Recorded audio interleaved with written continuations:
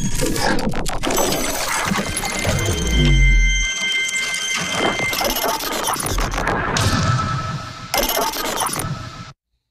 to this live edition of the InfoWars Nightly News. I'm David Knight with Leanne McAdoo and Owen Schroyer.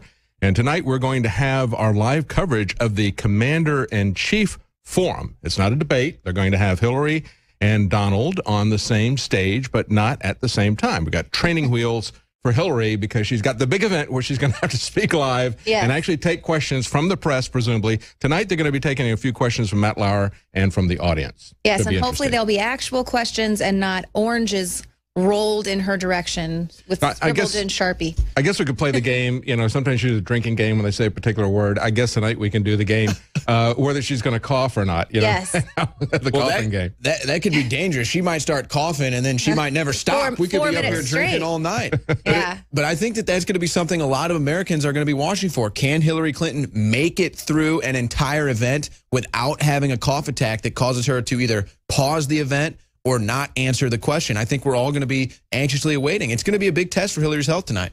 Right. Yeah, it's going to be interesting. And of course, for the last two days, Donald Trump has been talking about this very issue about national security, about the military, about cybersecurity.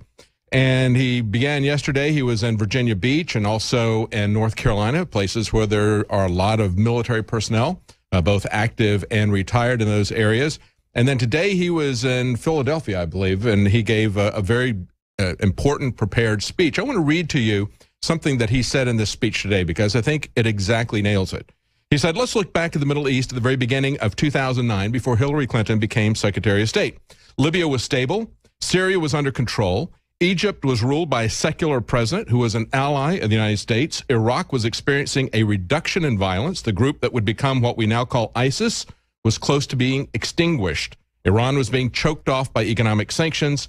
Fast forward today, what have we gotten from Obama and Clinton? Of course, that's a rhetorical question because we all know what the Middle East has erupted to. But it's Right. interesting to look back at this and think about it the fact that that was the situation just as recently as 2009. She wants to run on her experience. That is her experience, setting the Middle East on fire, creating radical Islamic extremists everywhere, overthrowing regimes. Why? For the bankers. Okay, Right. that's what we now know from the emails. That we are not even allowed to discuss. yeah. And yeah. these are talking points that Trump has continued to harp on. I mean, he spoke he speaks almost every day talking about the timeline in the Middle East f- since the start of the Obama administration to today. And as you just laid out, he does it perfectly eloquently. It's it's easy for even simple-minded people who don't necessarily understand the complex issues in the Middle East to see that our involvement and the current policies of the Clinton and Obama administrations did not help the Middle East. Right, and they're really going with this tactic that oh, give Trump the nuclear codes. It's going to be dangerous. He's a loose cannon.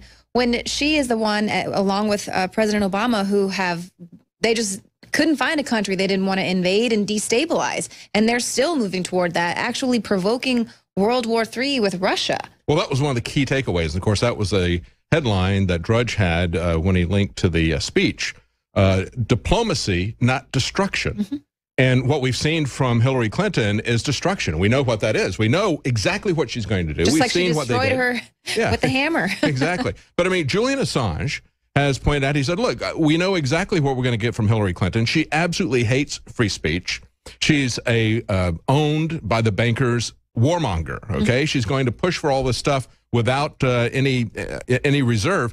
We don't know exactly what we're going to get from Donald Trump. So when we look at him talking about peace through strength, we say, all right, that'd be a good thing. But you know, how has that worked out in the past with the military-industrial complex? Yet realize that people who are key neocons in both parties, people like just recently, Paul Wolfowitz, came out adamantly opposing Donald Trump, supporting Hillary Clinton. And of course, he's been a long time Republican, uh, architect of the Iraq War, or so forth. As Trump has said in the past, thank you for coming out and taking the mask off. Okay. You've exposed yourself as to who you are. And I think it also defines who Donald Trump is. Right. We have people like Jesse Ventura, who, when he talked to Alex Jones, he was saying, I can't support Trump. He's he's running as a Republican. He took over the Republican Party. The Libertarian Party has been taken over by Right. the neocons, by the globalists, by the multinational globalists, uh, with these people, with Weld and with Gary Johnson. So, interesting thing I think is that you've got an independent and outsider who is who has taken over the Republican Party. And a lot of people, even within the Libertarian Party, have said that might be a good strategy for us to take over the Republican Party. They've got ballot access and and so many other things. He was successful in doing that. Right. But we we've got to get over these labels and we've got to look at this. We understand based on who his enemies are, based on things that he's talked about for decades, exactly where he stands. Right, and he has talked about this for decades. There's there are many videos out there of him coming out and saying, you know, we need to bring this money, get out of these wars, help our inner cities, uh, help the students here. You know, like he just mentioned, let our kids be dreamers too in this country. Yeah. He's been saying this stuff for decades, and you know, yeah, we might not see how he uh, the opportunity. He hasn't been a politician, but I think that he's definitely been in the political eye and speaking out against this stuff in a very eloquent way. Well, and you talk about Jesse Ventura, and I think it, you know, it's not just Jesse Ventura. It's there's a, a sect of people that just don't want to vote Republican for whatever reason. You know, Republicans' history that they know, don't know, whatever. They just can't vote Republican. It's the party of the rich white male, whatever it is. They just won't vote Republican. Get over But- the label. But and to me, to me, Donald Trump, Donald Trump has transcended the two-party system. Donald Trump has transcended the Republican Party. If it wasn't for Donald Trump, to me, the political party of the Republicans would have committed suicide. They would have already committed public uh, Republican suicide by now if it wasn't they've for been Donald Trump. happily handing it over to the Democrats. I mean, even just with this, even though they controlled both the House and the Senate, they still allowed the Democratic Party going out to decide how they were going to, uh, the federal spending that was going to take place And for the next why- few years forward. Exactly. That's why I would say, Owen, they did commit suicide. Mm-hmm. Okay, Yeah. they committed suicide by becoming clones of each other, and you know that that's essentially what they become. It is the single party. The Libertarian used, Party used to always say we have one single party. We have now seen that. Okay, and and basically what the current uh, candidates of the Libertarian Party are doing are essentially echoing what that single party has done. They represent that more than anybody. They're just saying, hey, look, I'm a less crooked version of Hillary Clinton. Well, that's to be determined. Well, and if you look outside of the left right paradigm, you're seeing the policies of Clinton and even Johnson. It was it was well documented by Paul Joseph Watson. These are totalitarian policies. It's not Republican or Democrat, it's totalitarian policies. And Donald Trump is against that. And and if you want to say, okay, I can't support the Republicans, then I say, look at the backlash that Donald Trump has gotten from the GOP. Look at the backlash and all the things that Donald Trump, the obstacles the Republicans put in front of Donald Trump just to get to this point, and he beat every single one of them. Right. And so the Republican Party, maybe they tried to commit political suicide, maybe they didn't, maybe they would have been dead if it wasn't for Trump.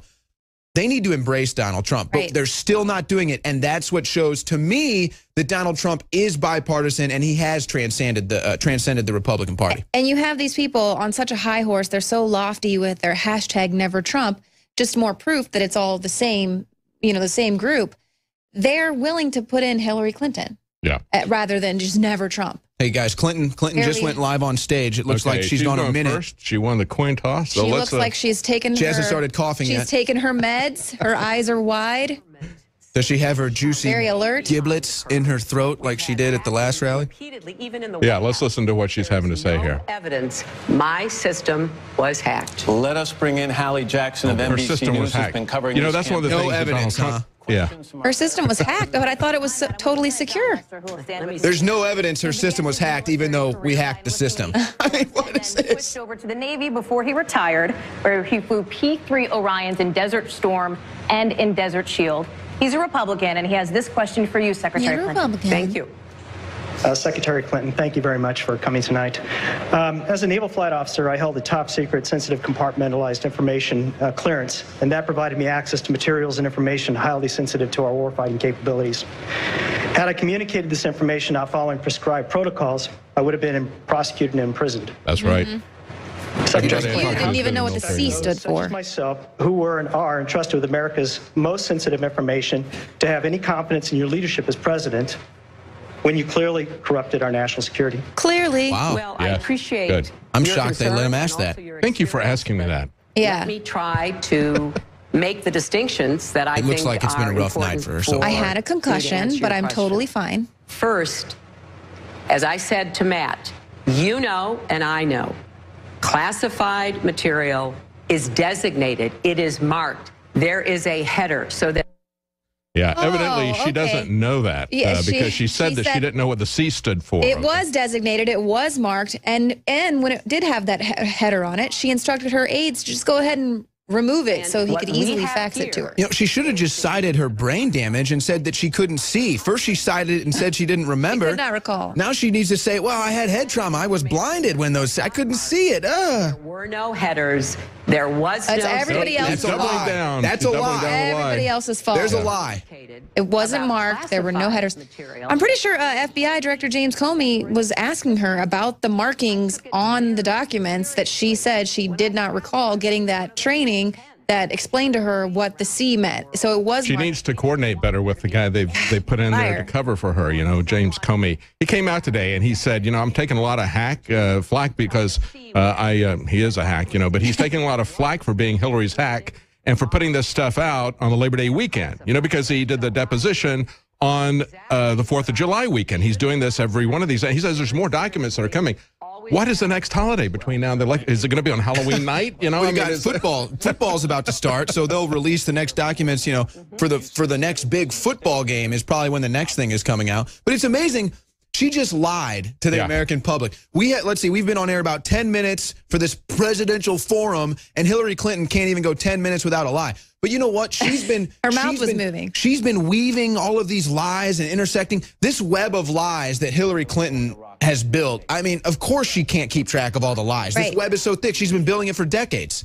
You know what just came out over this weekend was part of the transcript. She told the FBI, she said, "I didn't know what the C meant on confidential." Right. Okay, I didn't. Uh, I, I didn't never. Uh, I I never took the classes that I can remember, even though she signed the paperwork with all this stuff. And of course, the FBI director, who is somebody who has a history of covering for the Clintons, this guy. You may not realize the pedigree of James Comey. This guy, of course, is a lawyer. The law firm that he worked with for the longest time was Hogan and Hartson. He was a partner at this law firm along with a couple other people you might recognize Cheryl Mills, okay, and Loretta Lynch. All three of them worked at this law firm. What did they do? They did the Clintons' taxes, among other things, okay? And in 2004, he was deputy attorney general. He limited the investigation for Sandy Berger when Sandy Berger went in and stole classified documents out of the National Archives and destroyed them in order to cover up for the Clintons. What he did physically was what Hillary Clinton has done, in many cases physically with the hammer now. So this is the history of this guy. And one more thing. He was on the board of HSBC. Of course, we all know who HSBC is. They the people who have been uh, found guilty multiple times of massive money laundering for drug cartels, for terrorists. They even had their own cash laundering window for the Sinaloa cartel. Remember El Chapo, you know, this guy? The HSBC was doing this for them. And of course, they got a get out of jail free card. They were too big to jail.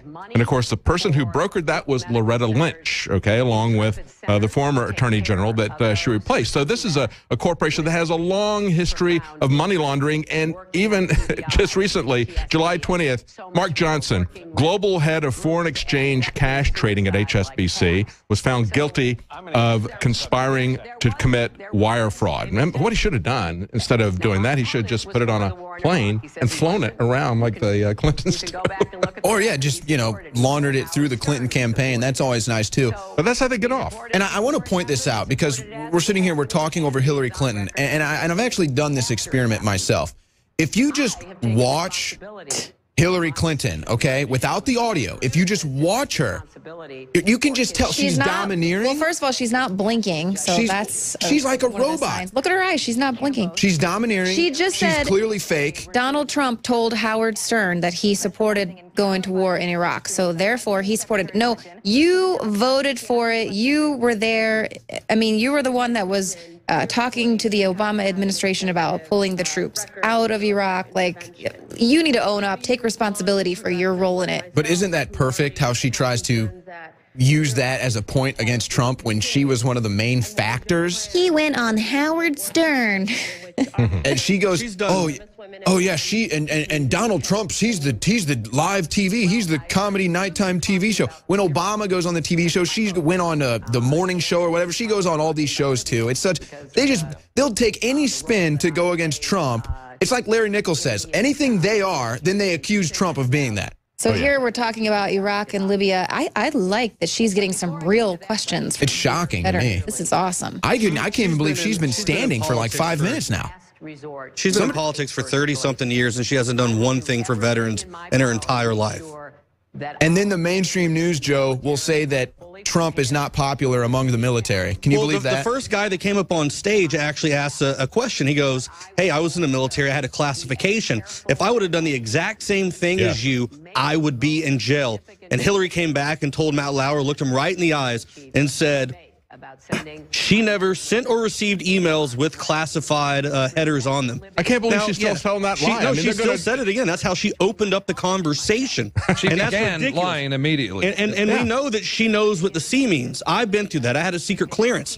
And even if it didn't have that on it, you understand as the Secretary of State at your position that you know that the materials, the information that you're handling, especially when she was talking about how she was handling it over in Pakistan and other countries, that's sensitive material. You're not going over there talking about teddy bears and candy and Coca Colas. You're talking about national security issues in front of other people that potentially don't like us whatsoever and that are mad about many things. And you're passing these emails along, you're passing this information along on unsecured servers. You have these unsecured servers brought up at your home, and you're passing things along with a C on it in quotations, and you don't know what that means. That's a bold faced lie. And she sat there and she looked at that guy and goes, Well, I respect your service and all, but I didn't do anything wrong. Get you the know, hell Joe, out of here.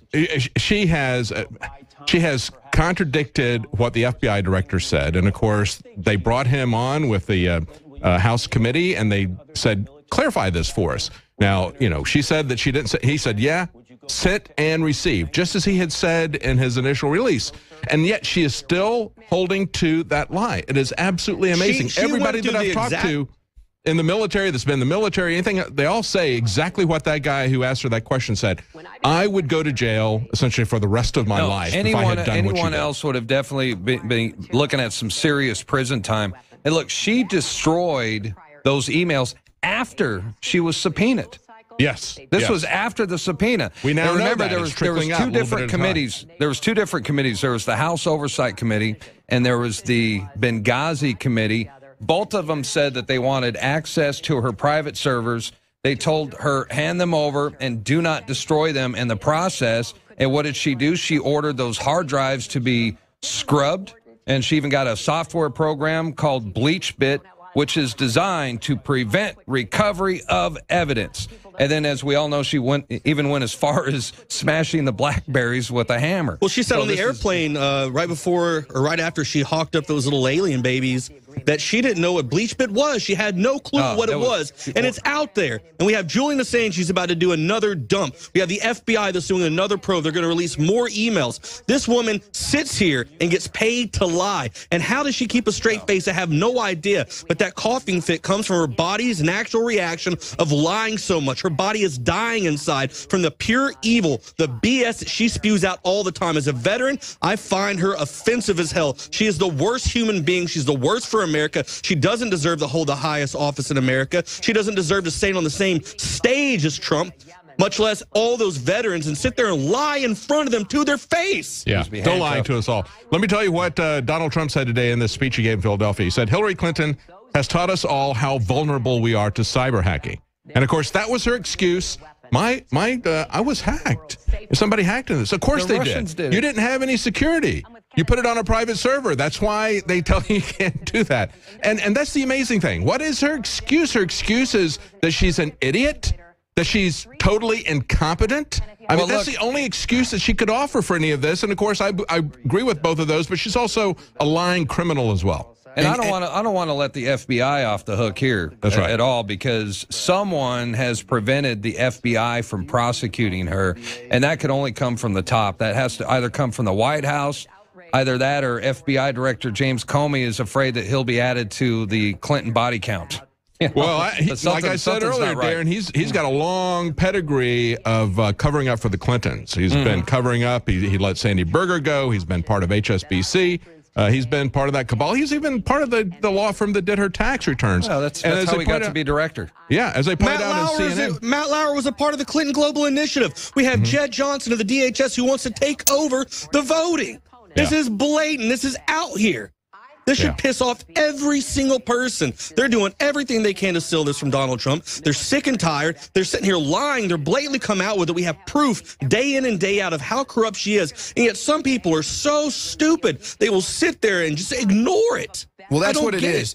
That's what it is, Joe. The, they are so confident in their lies. They are so confident in their brainwashing that Hillary Clinton can get on stage and immediately start lying in this presidential It- forum. it's it's like you tell a lie so much you begin to believe it, and then it becomes truth. And that's like the that's the way that Hillary's ran her entire life. That's the way she's done everything her entire life. That she she comes up with these lies, she fabricates these truths, and then she believes them, and they're set in stone. And then she uses them as talking points throughout her entire career. Thirty-five years she's been doing this, and the lies continue. They get worse and worse, and that's why she's able to keep such a straight face. And they're and she's backed up by the media. Yes. It- Nine it's times it's out of ten, disgusting. backed up by the. And- and I, I just, I, I don't get it, man. I don't get how people, people right there, those veterans right now should be booing her. They should be looking at her right now and be like, just boo. Come on, scream for some real answers. Let's get something. Well, you know, Darren, you talked about how this has to come from the top. There's a lot of people that are uh, angry about this. And the CNN story today, uh, they point out that uh, Comey says that he's been going uh, from place to place. Former agents were sharply critical of the FBI's handling of the Clinton probe, particularly the decision not to recommend charges. He's been taking uh, visits, going from one field office to the other, because I think they're hopping mad. We can see this corruption. And I, I was absolutely amazed. Again, this this type of in-your-face criminality that we just saw from Hillary Clinton as she began this thing, lying to everybody after everything that's come out, still saying that there was nothing on these emails, they were not sent or received as classified. And I remember watching this press conference that uh, Comey had, and he starts outlining all the felonies she's created, and I was amazed. I looked at my wife. I said. They're going to go after her, but then Yeah, she's laid out guilty, all of guilty, these guilty, guilty, guilty, yeah, but we're and not going to we're not prosecute. gonna prosecute. She committed all We're these not gonna felonies. He lays out all the felonies she committed, and then said we're not going to prosecute. Well, he's here's a, another he's a criminal himself. Here's another thing, David. It is a policy of the DOJ to record every interview, right? Yeah. In fact, they made recordings of every single person uh, that every one of the witnesses that were integr- er, uh, interrogated, except for Crooked Hillary. So this is a high-profile case. And in the digital age of 2015, 2016, they decided for whatever reason to record everybody but Hillary Clinton. Uh, you know, that's something's not right. Hillary said it's time to begin a new phase and intensify and broaden our effects to smash the would be caliphate and deny ISIS control of territories in Iraq and Syria. So she's calling it a would be caliphate, much like Obama said that they were the JV team. So she doesn't even really look at ISIS as a legitimate threat, just like Barack Obama did, which is why they're out of control, which is why we would have bombed ISIS at the beginning. They wouldn't be here. And then she talked about how Trump said he wanted to send ground troops and American troops. Well, that is off the table as far as I'm concerned. Yes, she doesn't want to send ground troops. You, you want to know why? Because they're actually going to kill the bad guys. When you put in operators out there in Iraq and Syria, they're going to take out ISIS. And she wants to use more. Uh, you know, more air raids, things like that, which we've seen before, don't even hit high value targets via these Obama drones. Instead, they kill innocent civilians, which sparks more hatred for America, which breeds new terrorism and creates more of a vacuum in that area. Well, that's what they want. They- want a proxy war to take out Bashir al-Assad, just like they took out Gaddafi in Libya. So this is this is our Frankenstein. Hillary Clinton is not for America. And we're not. Well, now she's talking about, you know, number one priority is defeating ISIS. And, you know, of She course, said we're Donald not Trump putting ground troops in. called her the founder of ISIS. Um, a lot of her emails showing that she knew the weapons were getting into the hands of the Al Qaeda who later defected, became ISIS. So she's basically creating the problem there, destabilizing the Middle East. She's really good at destabilizing countries. And then now she's going to go in and fix it. She might be the best, actually. Is there anyone better at destabilizing countries than Hillary? Can she take the crown on that? So I think she she'd I like to try. We came, we saw, he died. He died. I'm a tough right. guy in Libya. I destroyed mm-hmm. Libya, but you know, I should be this president. is the thing, though. The, the the problem with ISIS continues to grow. Why? Because we have these young people growing up in these Islamic countries who are pissed off. Why? Because a drone strike hit their family nine times out of ten. Right. A drone strike that didn't even hit a high value target, and they're pissed off. Hillary is going to be another continuation of what Obama's done, his failed attempt at trying to take out ISIS, which all he does is empower them. They're telling these Air Force pilots to drop ammunitions off to rebel forces. They're going to take out uh, ISIS, which in fact it doesn't. It lands in the hands of ISIS, and they have crates and crates of ammunition. We've given them all these vehicles. They're taking all this stuff. It's ridiculous. We What's need to the put the- likelihood that it lands in in their, it gets in their hands on accident, though? Yeah, I mean, Well, right not now they're happen. asking Hillary Clinton if the reality for us here living in the U.S. is that we just need to get used to the fact that we're going to have terrorist attacks here. Yeah, let's listen to her answer. to, uh, you know, promise uh, something that I think most uh, thinking Americans know is going to be a huge challenge, and here's why. we've got to have an intelligence surge, and we've got to get a lot more cooperation out of Europe, out of the Middle East. We have to do a better job of not only co- collecting and analyzing the intelligence we do have, but distributing it. There could be Based some off- based off of what Edward Snowden, process. based off of what Edward Snowden Vet revealed, I think we have a pretty good intelligence gathering uh, group going on right We, now. we had an intelligence surge when she put all that intelligence on her unsecured server. There was an intelligence surge out of this country. Which, by This the way, who- she liked to say that she didn't know. She was talking about drone strikes, uh, where they're going to be, who they're going to be against, when. She didn't just automatically assume that that was classified information. This was the Secretary of State, and now she wants to be the president. She doesn't think something as sensitive as a drone strike um, is classified. She's totally unqualified. Well, and- She says we need to combat ISIS online. Are you kidding me? Conservatives well, they get gotta kicked take off over the Twitter all the internet. Hey, time. now, that's what- Meanwhile, there's actual ISIS accounts right now putting, putting up propaganda videos, showing people getting shot in the head, showing people getting beheaded, showing gays getting thrown off bridges. But, but why aren't we defeating that? Why aren't we taking those accounts down? Oh, it's oh, now she's conservative. talking It's about terrorists being people who able are to buy getting taken down. guns. And we're going to be censored on YouTube if we show footage that might be. Come on, You're going to lose your internet freedoms, and you're going to lose your, Your gun rights. Gun rights. uh, That's what she's talking so she can now. fight ISIS. That's going to be the way she's going to fight ISIS. We can is to stop take those terrorist freedoms attacks. away from you, Joe. That's that's right. the way it's going As to be if they're done. not just going to be using their buddies down there in Mexico, uh, these cartels who've already said that they've been working with these jihadist groups who are going to help them funnel in the weapons illegally once There's they a- take Miss, Mr. and Mrs. Oh, here he America goes. away. Went after a Gold Star family.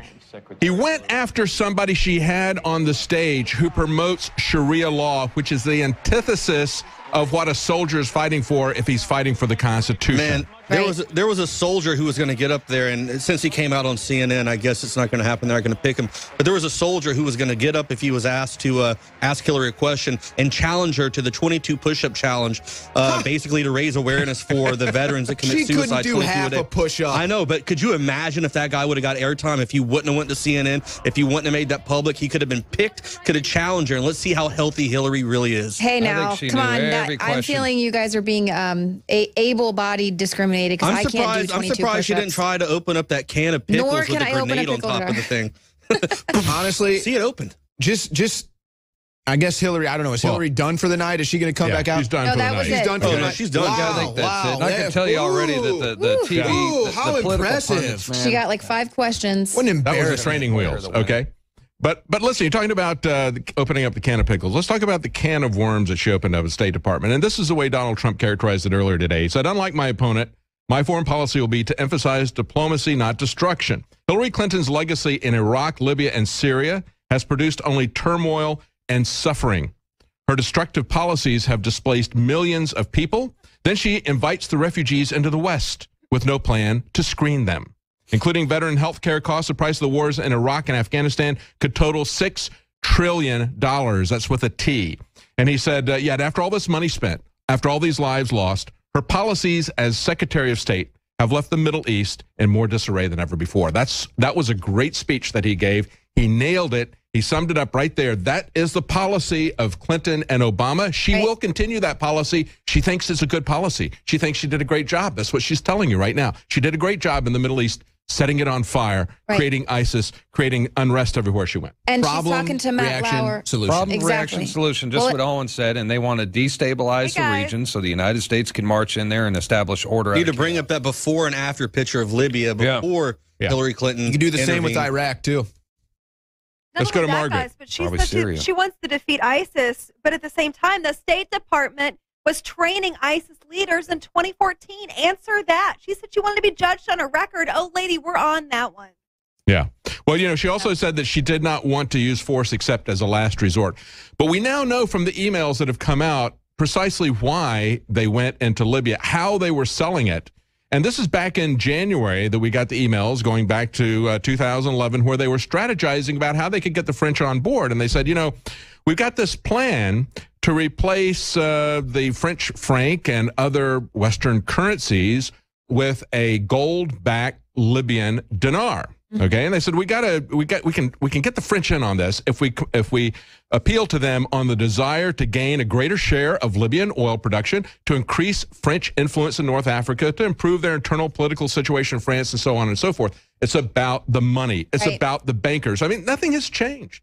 100 years ago, we had Smedley Butler telling us about uh, intervention. He said, Hey, I went all over the world. I fought all these wars. I did it for the uh, fruit company. I helped Mexico uh, make safe for the American oil interests in 1914, so forth. He said, I helped the bankers uh, in Cuba and Haiti. I War raped a half a dozen Central American republics for the benefit of Wall Street. Uh, Nicaragua for the international banking house of Brown Brothers Harriman. You know, that's the Bush brothers who later gave uh, money to finance Hitler. All of that. Nothing changes. They started this Libyan war for the bankers, okay? And Not to only that, David, but we had to make sure Gaddafi was trading on the gold standard. We just couldn't have that. You know, No. our petrodollars, we've got to make sure that those are secure. absolutely. And absolutely. uh, Hillary taking him out. Hey, look, she just did what she had to do in the name of American interest. I was getting so sick listening to her tonight. It was just unbelievable. She said that she thinks the commander in chief should protect and defend the U.S. Lady, tell me, at what point in your career have you actually done that? Yeah, she's helping to topple the U.S. and enrich her Well- own pockets. She thinks that the commander in chief needs to be quiet. You know, you shouldn't talk about the Federal Reserve or the bankers when you're running for president or when you are president. She said. We're going to talk about that later tonight. Let's go to uh, the first response from Donald Trump. He's now at the podium. I've dealt with foreign countries. I've done very well, as an example, uh, tremendously well dealing with China and dealing with so many of the countries that are just ripping this country. They are just taking advantage By the of way, guys, like Matt Lauer, right out of the gate, before. told And Donald I've Trump to keep your attacks to a minimum. Yeah, let's not be too rough. Yeah. She's an easy That's- target. That's the first Okay. thing you told him. Please keep your attacks. Wait, was that minimum. Unbelievable. Was that Donald or was that Matt? What, Matt- saying Matt keep, Lauer keep your said that. tax He to told that to Donald Trump. It was Yeah, Matt that said that. I Go easy tell. on her. She's sick. Okay. That's how he started the conversation. Just so Now, what's his- shots. And ties with the I happened to hear Hillary Big Clinton donor? say that I was not against the war in Iraq. I was totally against the war in Iraq. From a, you can look at Esquire magazine from 04. You can look at before that.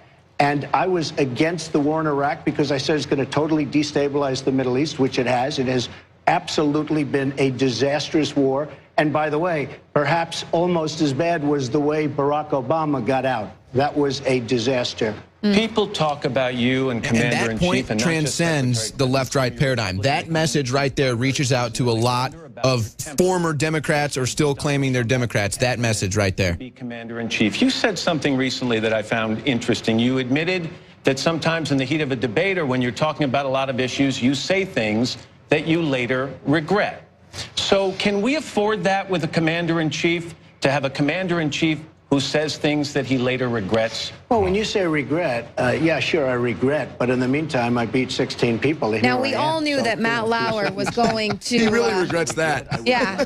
done it So regretful manner. that he didn't play by the establishment's rules. That I had to go through, and that was a lot of people. But That when you a- say that was a record, Matt, that was a We record brought in the all this heavy duty military equipment into Iraq. Then Obama pulled us out and we left it all there. Then ISIS came in. We watched them come in. We watched them convoy in and take all of that high grade weaponry that we had the tanks, surface to air missiles. artillery pieces, which I highly doubt they even know how to use, especially an M777 Alpha 2 howitzer or anything like that, complex. But these guys came in, they had free reign.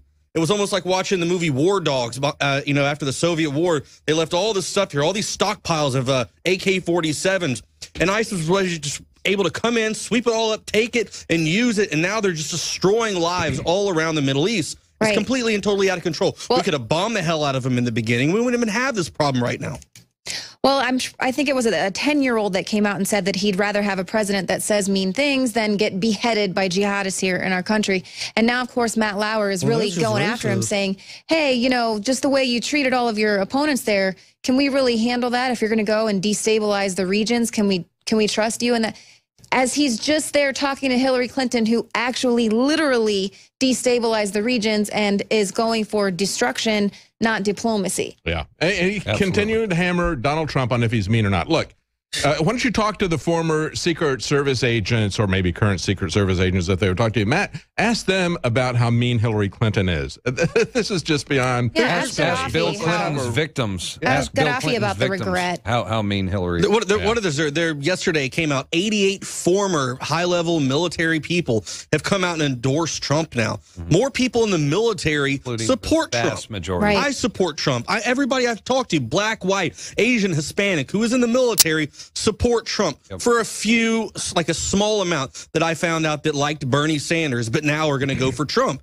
I mean, you can't have a commander in chief who is not going to be hold, held to the same standards that you, a soldier with a classified, uh, like secret, top secret, other than whatever. If you're not going to be held to the same standard, then why in the hell should I be? And I guarantee you, if I was a soldier and I walked in and I sent emails on an unsecured uh, server or whatever like that, an email, I would be thrown in jail. And I guarantee you, the stuff, the more heat's going to come out on Hillary Clinton, and she's going to have a fall guy, someone who's going to take the blunt and, and blame it on that person. They're going to get set up in some nice, fancy resort that's somewhat of gotta- a prison, and that guy will end up dead. We got a question coming up. Let's hear what these people Inspired ask him to uh, write a Trump. book. Yes. He's a Democrat, and he has this question for you, Mr. Trump.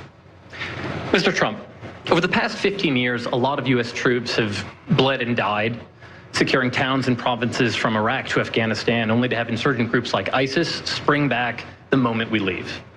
Now, you've claimed to have a secret plan to defeat ISIS, but Secret. you're hardly the first laid to politician to promise a Maybe quick victory and a speedy homecoming. So, assuming we do defeat ISIS, what next? What is your plan for the region to ensure that a group like them doesn't just come back? Joe, I mean, part of the problem that we've had is we go in, we defeat somebody, and then we don't know what we're doing after that. I mean, we lose it. Like, as an example, you look at Iraq, what happened, how badly that was handled. And then when President Obama took over, likewise, it was a disaster. It was actually somewhat stable. I don't think could ever be very stable. I would say don't hand them weapons into in the once you first place. leave and drop But he came in weapons and to the said, enemy. when we That's- go Des- out and de- de- destabilize and then leave weapons. Really, yeah, that, Libya that was very helps. stable. Uh, Libya was on its way to, uh, they were going to stabilize all of Africa, but it wasn't in the interest of the bankers to have that happen, and it's not in the interest of the bankers to let uh, Syria be stable. And that's what it all comes down to, David. And and when they set them up to so so called bring democracy to these nations, let them truly have their democracy. And if you don't like who they vote in, I mean that's not your business anymore. You set it up Right. to where the, if they want to continue living the way that they live, I mean leave these countries alone. But that's the thing is they want the resources, they want the gold, and they say it's for U.S. interests. But I'm not seeing any of that. Well, and you talk about the banks. What did Libya and Iraq have in common? No central bank. What do they have now? Central bank. What does Syria not have? Central bank. What are they going to have if they get the Assad regime to fall, like Hillary Clinton would like? A central bank. and another strategic placemat on the grand chessboard. Yeah, just another domino to fall in the mm-hmm. Graham chess game. Absolutely. Well, but that's why they can't have Trump because Trump is going to annihilate their entire plan if he gets in. It's all about Absolutely. destroying a nation so that you can rebuild it for the bankers. Okay. Yeah. And, and that's what we've seen going throughout the Middle East. That's been the policy of the Bushes and the Clintons and the Obamas. And that's what he pointed out in his speech. They go in and they destroy this country and they don't have anything to replace it with. And and that's really the uh, the reality of this that the Democrat uh, guy who asked him a question doesn't understand. Let's go back to the uh, broadcast. Unpredictable. Yeah, Matt Lauer's hitting them hard. the What's your plan? What's your yesterday plan? You actually told us a little bit about your plan in your speech. You said this quote, We're going to convene my top generals, and they will have 30 days to submit a plan for soundly and quickly defeating ISIS. Oh, I thought he didn't have a plan. So is the plan you've been hiding this whole time asking allow someone people that else for their actually- plan? No. is the hidden He's plan not a actually military not commander, hidden? and he is not a politician. And frankly, I don't mind if he's going to seek the guidance of top generals to actually. ex- I just He don't also understand. says in that in that in that very line, it says any nation who shares in this goal will be our friends in this mission. That was said September 6, 2016. Including Russia. And he in repeated it Greenville, North. Carolina. And, and what they did earlier in the broadcast, they criticized him for saying that he doesn't trust military, pe- that he knows better than that sort of thing. Now they're coming back and saying, well, you said that you're going to talk to military commanders, uh, then you don't have a plan. In other words, he, he can't win no matter what he says. If he says, uh, I've got the plan, I don't need to talk to military advisors, or if he says, uh, then he's bad. If he says, I got to talk to military advisors, then you don't have a plan. Right. and then he also, Matt Lauer, just the way he sort of ended his statement. So then Matt's like, oh, so you're saying you don't trust the military leaders? And he's like, no, I trust them implicitly. I don't trust Hillary Clinton and President. I mean, ugh, we knew this No, was going to be this framed. is- He's a I know, total this is an Clinton ambush. Foundation This is an am- ambush journalism. Just last month on August 15th, Trump said my administration will aggressively pursue joint and coalition military operations to crush and destroy ISIS, international cooperation to cut off their funding, expanded intelligence sharing, and cyber warfare to disrupt and disable the propaganda and their recruiting. Well, and what did former Brigadier General Remo Butler say? He said, you know, I kind of like Trump. I knew I didn't like Hillary. I was kind of on the fence about Trump. And then he saw what Trump was doing with the military leaders. He saw the endorsement coming for the military leaders, and he saw that Trump wanted to work with them. And he said, you know what? I trust these people that Donald Trump is going to be working with. Therefore, I can now throw my full endorsement behind Donald Trump because I know he's bringing in the right elements in order to get things done. Well, Donald Trump said on March 10th, I would listen to the generals, but I'm hearing numbers of 20,000 to 30,000. We have to knock them out fast. And he said that that's a number that I keep hearing and would be needed. And I would uh, listen to these generals and do exactly what I believe they think is the right thing to do. And Yeah, this was back on March 10th. Let's go back and see. He just tried to get uh, Trump to uh, talk about the military briefings. This is a a, a, uh, a rope a dope. Let, let's hear what he has to say, though. Barack Obama did not follow what our experts and our truly, when they call it intelligence, it's there for a reason, what our experts said to do. And I was very, very surprised in almost every instance. And I could tell, I have pretty good with the body language, I could tell they were not happy. So far, we've had Our one question from someone in the follow military for what they Trump. were Matt recommending. Lauer is just really Alec? going after. I'm with former Army Captain I like what he said about body language too. I kind of relate to that. I can, you know, body language can tell a lot about a person. That's why I don't trust Hillary.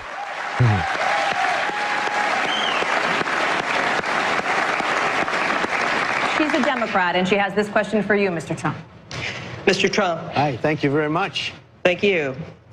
Do you believe that an undocumented person who serves, who wants to serve in the U.S. Armed Forces, deserves to stay in this country legally?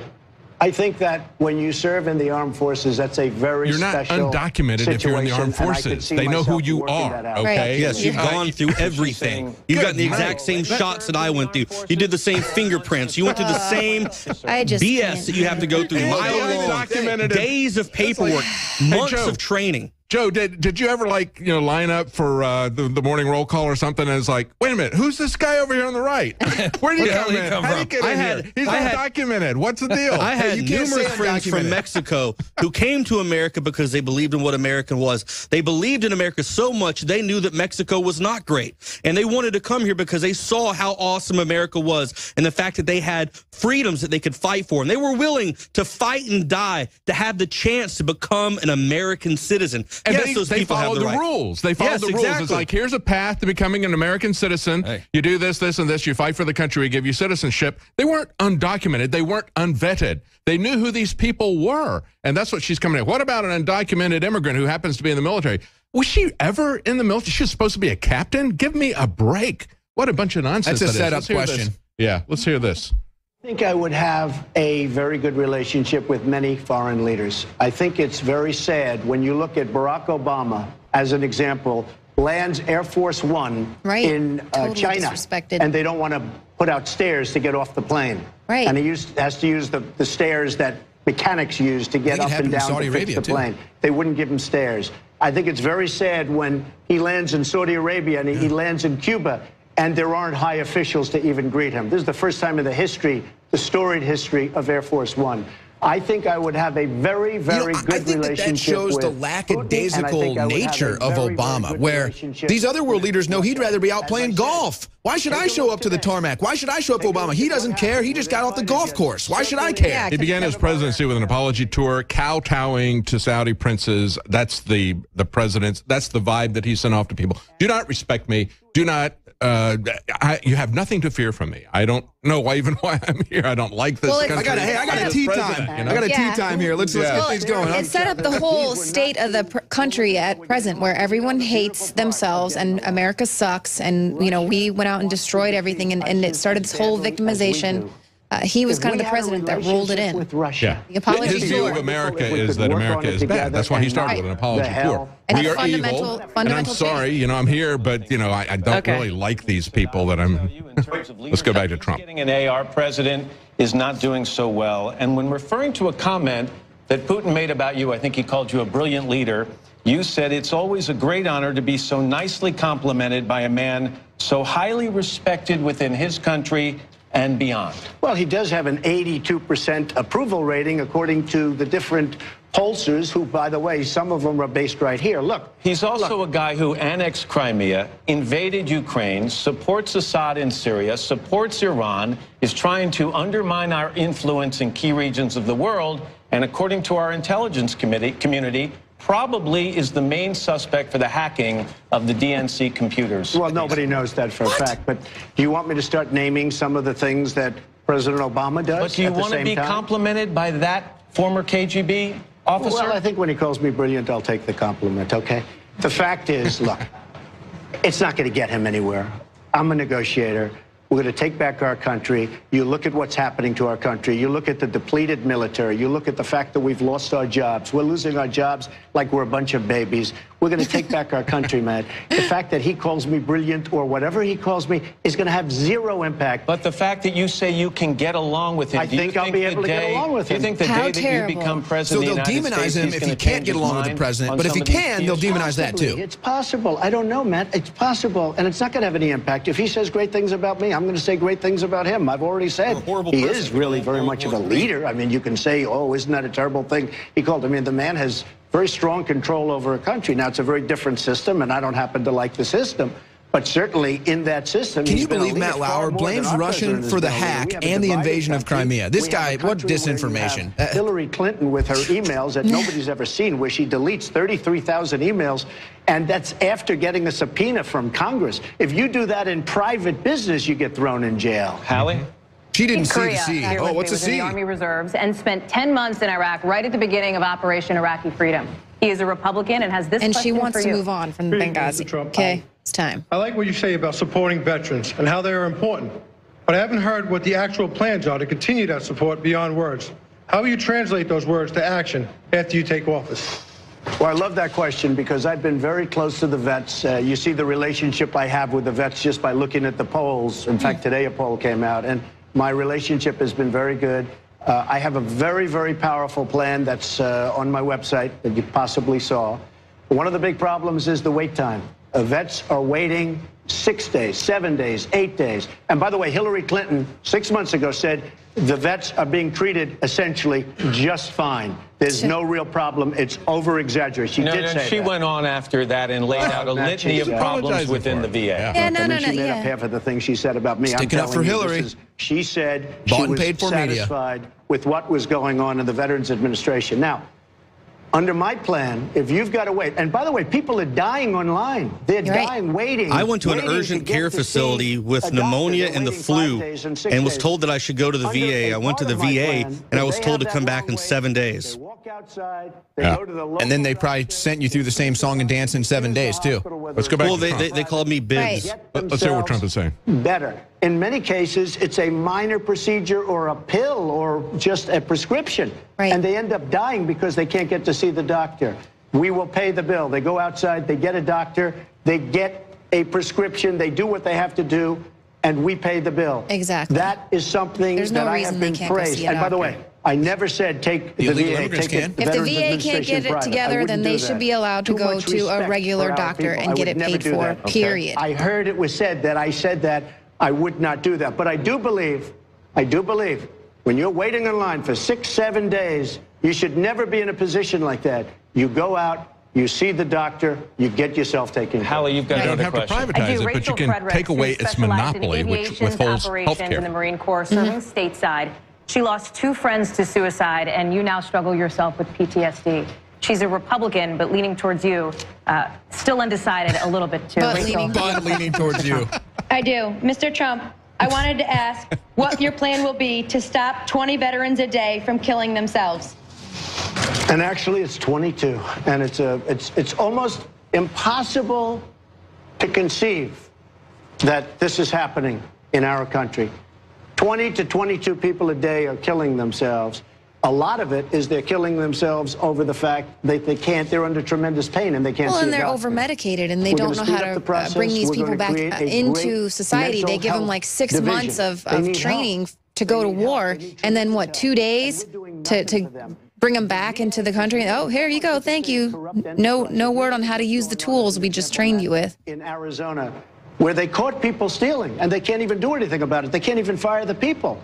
So we are going to make it efficient and good. And if it's not good, you're going out to private hospitals, public hospitals, and doctors. Okay? Hallie, one more. Thank you very much. Donald Day here, who served as a radio operator in the Marine Corps in the Vietnam That's era. one of the things they need to be able to do. We need, as veterans, need to be able to have the opportunity to go outside of the VA to go seek care from these other doctors, these Right. private doctors outside of that.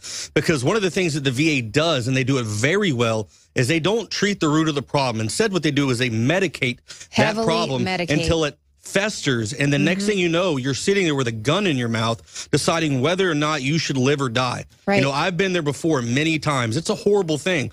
And finally, one day I was able to see through the BS. I was able to sit there and go, you know what? I'm not a bad person. I don't hate myself. I don't regret everything I've done.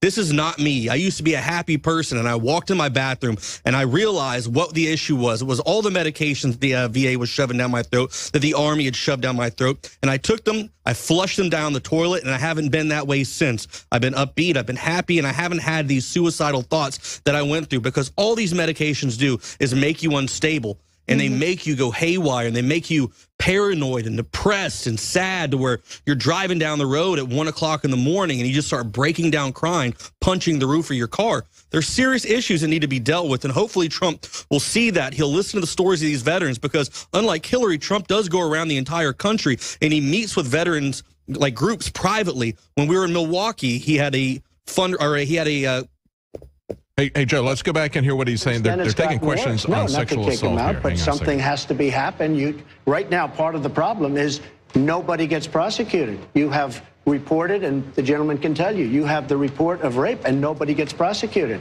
There are no consequences When you when you have somebody that does something so evil, so bad as that, there has to be consequence for that person. You have to go after that person. Right now, nobody's doing anything. Look at the small number of results. I mean, that's part of the problem. So many of the issues that we've talked about with you, Mr. Trump, tonight and Secretary Clinton are so complex that even career military people and career diplomats and politicians have trouble getting their arms around them. Right. You've had a very different background in business. So nobody would expect you to have taken over the last 20 years really deep dives into some of these issues. But I'm curious about what you're doing now. What kind of research are you doing now? What kind of homework are you doing? What kind of things are you reading That's a as really you prepare for the day? remark. in to In say, other words, he's you know not what? qualified. We're in politics, and all this stuff is really complicated. You're just a businessman who built an empire. You don't know anything. What are you doing now to bone up and study? Let's hear what he has to say. Right here is a list that was just printed today of 88 admirals and generals that I meet with and I talk to. How much I've time are you spending found on a this? lot, a lot, and I'm doing a lot of different things. Don't forget. Who paid for Hillary Clinton's campaign. private jet? Who cares how- if well. he- Yeah, he doesn't I drill Hillary Clinton, and who's who's the giving it to invisible woman, for six out of seven days of the week. also But he wants to know what Trump is doing, campaign. Yeah. even though he's out on the scene every day. A lot of hats right now, but we're doing very well. But in the meantime, I am studying and I'm meeting constantly. You see, uh, you see General Flynn and you see some of the folks that we have, and they're scattered throughout the audience. So we have admirals, we have generals, we have colonels, we have a lot of people that I respect, and And I that's think what I I've like is learned that a he, lot, if he doesn't know, he I is going to think go and learn. Whereas Hillary Clinton just goes and I really feel destabilizes and, and then goes, "Whoops, well, the various issues I've evolved. talking. Sorry that I messed everything up, today, but I've changed. I've changed now." America is Trump's Well, literally very- done more in the last 12 months for America than Hillary's done in 35 years. It's a very stupid and naive question because the bottom line is he, he, he's a developer, okay? Is he an engineer? Is he an architect? I mean, he'll come in and he'll tell them the general idea, lay out the general plan, but he leaves the details to the professionals. That's what he just said. I'm going to have professionals. I'm going to have generals and admirals and others who are going to lay out the details of this. He sets the broad policy decisions. That's the issue. It's a profoundly condescending, ignorant question from Matt Lauer. Obama, Obama was a community leader, right? He, Obama was a community exactly. leader, and what did What he do? experience? He fired a bunch of good the top generals, so he didn't want to listen to them or take their advice. He went in and fired the people who knew what was best. But And he's now we willing to be a where we're at. dictator, though. So it's okay as long as you're willing to be a dictator. Trump doesn't want to be a dictator. He wants to take advice and then improve this country. Not like Obama or, or Matt Lauer's candidate, Hillary Clinton, who just wants to be a dictator. That's all they want. Let's go back to Trump. What's he saying? And in kind of the same place I started. Have you given much thought, Mr. Trump, if you're elected president and commander in chief, to that moment where you're going to have to make that first decision that puts American men and women in harm's way? I think it's the most difficult decision you can possibly ever make. You're talking about death, and we're talking death to not just our side, we're talking death all over. I would be very, very cautious. I think I'd be a lot slower. She has a happy trigger. Right. You look, she votes for the war. But she have you goes into thought about That's why he's like, why are you guys picking on me for wanting diplomacy? burden. I think Why is it so bad that I want to be friends with the other superpowers out there? preparing this for a long time. And, you know, my theme is make America great again. We're going to make America great again. But, Matt, we've also got to make America strong again. And right now, we are not strong. Believe me, we have a depleted military. We have the greatest people in the world in our military, but it is very sadly depleted. The Republican nominee for Well, and president he, of the he United tries States, to say Donald to Trump, well, what about the emotion that goes into these decisions? I'm sorry, I didn't hear you questioning Hillary about that, who bragged about uh, what she did in Libya. I didn't see you question Hillary about that when the people that died in Benghazi, you know, so it's not about emotional and the emotional strings when Hillary's on the stage. Only when Trump's on the stage do we need to weigh the emotional aspect on it. So- That- it's only for Trump. Trump Trump supposedly insulted a Gold Star family. Meanwhile, Hillary will sit there and laugh at the family members that had someone die in Benghazi and then look and say that they're liars. Yeah, No and one tell them flipped it's time to move on. Yeah. How, ma- how many uh, families did she do that to? And this is one family, and this is a guy who was up there who is an advocate of Sharia law. Okay, that's that's the bottom line on this guy. Let's put our phone number out here. We want to take uh, some calls from uh, our audience, uh, see what you have to say about this. And of course, we did a lot of talking as they were talking. Perhaps uh, you were listening to it on another line, had some comments to make about what Hillary had to say or what Donald Trump had to say. That number is 877 789 2539. Again, that's 877 789 2539. If you want to comment about what you just saw, uh, this uh, commander in chief forum that they had. Uh, and of course, earlier today, the other side of this, we talked about how the danger that presents itself to us as we build up the military. Yes, we do want to have peace through strength.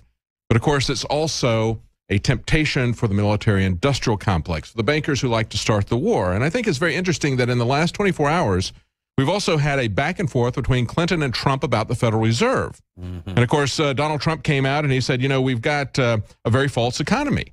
The Federal Reserve has artificially inflated, uh, deflated the rates to uh, inflate the economy. It's a very artificial economy. And Clinton came out and said, uh, you should not have anything to say about the Federal Reserve if you're running for president or if you are the president. Absolutely amazing what she had to say. And then she went on to double down and said, words, be careful about the words that you use because words move markets. Words can have effect in people's 401ks, their pension funds, their stock portfolios. That's the whole point. Mm-hmm. We have a private, unaccountable Federal Reserve that makes decisions about markets, about people's 401ks, about their pension plans, okay, about their portfolios, that take the economy up or bring it down. And who runs this private Federal Reserve? Right now, we've got a foreign billionaire, a man who is not even an American citizen, a Turkish billionaire who made a fortune off of Chobani Greek yogurt, who sits on the New York Fed board. He's controlling our economy. That's precisely what they're trying to do with the Trans Pacific and the transatlantic partnerships. They want to set up foreign uh, individuals who are, are not accountable, not elected to us, and they are going to control our economy. That's the bottom line. I want to play this this real quickly. Uh, this is a one minute that Darrin McBreen put together, talking about how the uh, feds are above uh, the law, above the president. Here was that clip. We don't have that ready yet. Okay. There it is. is a private banking cartel. The Fed is a sometimes very independent uh, organization. What should be the proper relationship between a chairman of the Fed and a president of the United States? The Federal Reserve is an independent agency. There is no other agency of government which can overrule actions that we take. They print our money and then loan it to us at interest.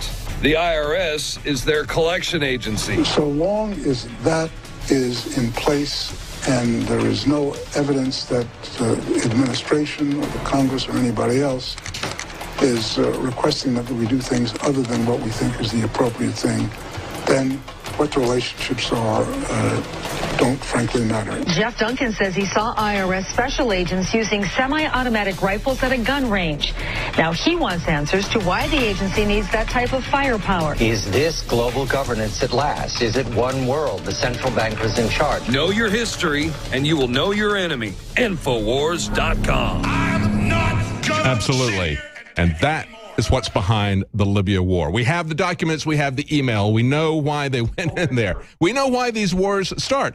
And we know where the IRS came from. They created the IRS at the same time they created the Federal Reserve. Why? Because they were changing our system of taxation from one where we taxed imports to protect our internal industries to one where we taxed people inside the country. It was the antithesis of what Thomas Jefferson did. Thomas Jefferson said, We have eliminated useless offices and we have eliminated internal taxation. What farmer, what laborer, what mechanic knows the tax man? Once they created the Federal Reserve, once they created the income tax, our government is run by taxes on the farmer, on the laborer, on the mechanic inside our country. It's the big multinational corporations that go tax free. And they're the ones who start the war. Let's go to uh, Ashley. Ashley, uh, what are your comments on what you just saw? No, that's exactly right, David. Um, when I'm listening here to this forum, I'm I'm hearing on Twitter that a lot of people are saying that uh, Matt Lauer actually went 10 times harder on Donald Trump than he went on Hillary Clinton. Right. And maybe that's because he's part of the Clinton Global Initiative. Yeah. Uh, he was Shocking. called uh, one of uh, the notable members of the Clinton uh, Global Initiative. He's part of the Clinton Foundation a few years ago. And people are on here basically saying that uh, Donald Trump went really hard on Hillary Clinton. And I don't see how that's possible when he was really actually pretty gentle with her. Yeah. What well, he was told that? from the very beginning by Matt Lauer, don't be hard with her now. Be Now, nice. don't Play take your nice. Usual tack. Exactly. They said don't attack. And uh, I think he's been really good. I, I think 30 minutes per candidate is a really, really short period of time to actually talk about national security. That's one of the things that's trending uh, here. They're How- how saying did that feel, people should have talked more about globalization and national uh, state sovereignty. Well, let me ask you how you felt in terms of just the body language that we were talking about here, looking at the two candidates, because uh, before the uh, debate tonight, I was listening to what MSNBC was saying, and they were saying, well, you know, I don't, I don't know. Uh, Donald Trump out- hasn't done this type of thing that much. Uh, Salon, uh, especially, was saying he just doesn't do close, intimate uh, events like this. Hillary's had a lot of experience with that. Of course, that's all she That's can all get is she a will room allow. of 50 people. Yeah, Right. Uh, Right. he's I- he's I think- talked to thousands of people, so I don't really think he's going to do that well. But others said, well, no, he's been a reality uh, TV personality. He's talked to a lot of people. I I thought he came across uh, very the whole- authentic. Yeah, that's the whole Right, thing he with was negotiating is so intimate. Trump was authentic, and you know Hillary, she had her stool there, so she was able to sit down. but people on Twitter saying uh, when she got up, it looked like she was struggling to walk. So it's just another, you know, example of her health problems. Yeah. Well, and she stood for like, I mean, she stood for 20 minutes. I think that was kind of a, you know, I'm okay. I can stand for 20 minutes without Right, falling over or prove it. coughing. Well, plus two, Yeah. whatever she was given, she was given like a little, like one of those shots that kind of wake you up because she was like, "I'm ready to be your she was president." wide-eyed, right? Oh yeah, she didn't even blink when she was speaking to anyone. She gets the uh, she gets the smelling laying down in the back of an What is that, right ephed- now with an IV stuck you? in her arm. They give her the little smelling salt before she goes on. She's had. I'm she didn't stand she the whole time. finally- They- She had that stool there that she sat down every time she had a chance. Exactly. I'm glad that she finally admitted that she made a mistake with her personal email account, so she can never go back on that now. She knows, you know, she can never do that again, but it's obvious that she's uh, really made a huge mistake, and she's finally admitting to it. It seems like. Yeah. And she also admitted to her brain damage. right. So she's admitted to all of this now, all these conspiracy theories, all these attacks on Hillary. Oh, we're just attacking Hillary. no, you admitted it now. We caught you red-handed. I think it was a big mistake for her to double down on the lies about the documents not being marked classified. Right. I, that that was that is going to come back to haunt her. That is something that is going to. And what do you guys think her. about people on Twitter saying that uh, Trump shouldn't have accepted these compliments from Putin because he's saying, you know, uh, he his exact quote was, "I think when he calls me brilliant, I'll take the compliment. The fact is, it's not going to get him anywhere." So he's basically saying that. Putin, you know, he may compliment him and he appreciates that, but it's not going to get him any farther um, in foreign policy. What you know what's really foolish is the idea that we would be directly confrontational with somebody that could start a nuclear war with us. And that's been the policy of Obama and Clinton. That we're going to get in their face, that we're going to be provocative to them, that we're going to restart the Cold War. That's what's foolish. It's Right, not foolish to say, oh, okay, you think I'm brilliant? Thanks. Uh, you're a nice guy, too. Look, we got to negotiate this thing. And that's what he's saying. I'm an adult. I'm not going to be, uh, I'm not going to go easy on the guy because he flattered me. I understand it's flattery. Just graciously accept it and move on. We got negotiations to deal with. He's an adult. Right. But they are provocateurs. They're trying to provoke conflict. They want to restart the Cold War. Why? Because the bankers and the military industrial complex want to sell the long range bombers. They want to sell all this other stuff. They need the Cold War back in order to do that. And I think it's obvious that world war with Russia is what they want. But doesn't it show the doublethink in the media? Oh, Trump is a, you know, he's an isolationist. He doesn't, he's making relations with Mexico bad. Then the Mexican president invites him. They have good relations. But when he's trying to make a good relation with Russia and Putin, then it's bad. Then, oh my gosh, Trump is trying to isolate or he's trying to work with Russia. So it's not good with Russia. It is good with Mexico. No, you just can't stand the fact that Trump is kicking your ass. Right. And, and meanwhile, they're really trying to push th- this out there that, you know, it's all about the love and we need to just be kind. And that's the that's the message that Hillary Clinton is let's let's all we're stronger together when he's actually trying to go out and and make the world stronger by making America stronger uh, by working with these other leaders so that they respect him, not disrespect him and behind the scenes, uh, like with Iran, you know, uh, he basically said that that we were blackmailed because not only did the president lie to us about uh, that exchange of money, said that it wasn't a ransom, but now it turns out it was 1.7 billion dollars in cash. So he he lied. So it's a second layer of the lie Yeah. with just- this money, and it so just keeps unfolding gradually. he's not this he's is the not good number at one- deals. This is the number one terror state in the world, classified by the U.S. Right. government, is Iran. And we Right. just gave them billions of dollars. billions of dollars and they said well we don't know who requested the cash and we also don't know what they're going to do with it but you know Well, the bottom line is that he violated his own sanctions. He was the one who designated earlier this year their terrorist organization, and his actions are criminal actions. Obama himself uh, should be going to jail for uh, giving this money to an organization that he defined himself as a as a terrorist organization. So over and over again, we say, you know, she she she committed these felonies, but she's not going to go to jail. He designates them as a terrorist state, yet he flies We foreign currency in a secret flight on a cash, you know, basis to them pallets full of cash, and he's not going to go to jail for violating the law. And that's the key thing. Everybody got hung up on whether or not this was ransom or not. Of course, it was ransom. Okay, Right. they argued about that for a week, and then finally admitted, okay, it's ransom. Uh, but the real issue here is that he committed a felony. Okay, that's the bottom line. He committed a felony, but that doesn't apply. The these state department actually um, admitted the payment was timed as leverage it Yeah. was it was leverage that's what they were calling It. Yeah, leverage for Iran. I didn't know that cement classified. yeah i thought it meant cookies or Let, let's go to uh, Margaret now. Uh, Margaret, you wanted to comment? Well, I'm listening to this discussion about Iran, and I have to say, I, I agree with you. Of course, he paid a ransom. I mean, hello. And she talked about how uh, incredible the threat was of Iran. Well, under her watch, she belonged to an administration that was paying ransom to the tune of uh, 1.3 billion. Uh, how did that make us safer? No more sanctions. They're going to get their hands on nuclear material. Oh, by the way, their missiles pointing upward. Oh, and we just gave them a big tip. yeah. Okay. And, Oba- and Obama said that it was going to be just uh, several payments of this $400 million, that there were going to be several. But no, turns out it was all 1.7 billion all at once. And let's One put a- point. That's right. That's one heck of a reparation check. Let me just. And let's put a bow on this. Let's remember that under the Obama administration, debt doubled. Okay, what do you think payments like this do to the debt? And then, of course, what do we see Hillary Clinton say? Don't mention the Fed. Don't mention the Federal Reserve that we're $20 trillion in debt to. Don't even mention it. Don't even think about it. It Hands roil off. the markets. Right, Everyone not will only that, magic Owen, but money. Matt Lauer had the nerve to ask Donald Trump what he reads. You know, he took a page out of Katie Couric's playbook when she was talking to Sarah Palin. What cases can you name? I hate those stupid gotcha questions. It's like, what good did that do anyone? You know, let him present his foreign policy matter concerning Iran. But these gotcha questions of let me know what you read, that really got under my skin tonight. Right, and that's and uh, going back to that, uh, President Obama is, was a community leader. What did he do? At least Donald Trump has been uh, a businessman for decades, has been involved in the political uh, sphere to a certain degree. He's created thousands of jobs, maybe hundreds of thousands of jobs. He knows how to work with other people. He's gone into these other countries to get his developments there. So, you know, he's not just some guy that was went to school and was learning from the Saul Right. Alinsky handbook of how to Some destroy a nation. intellectual with no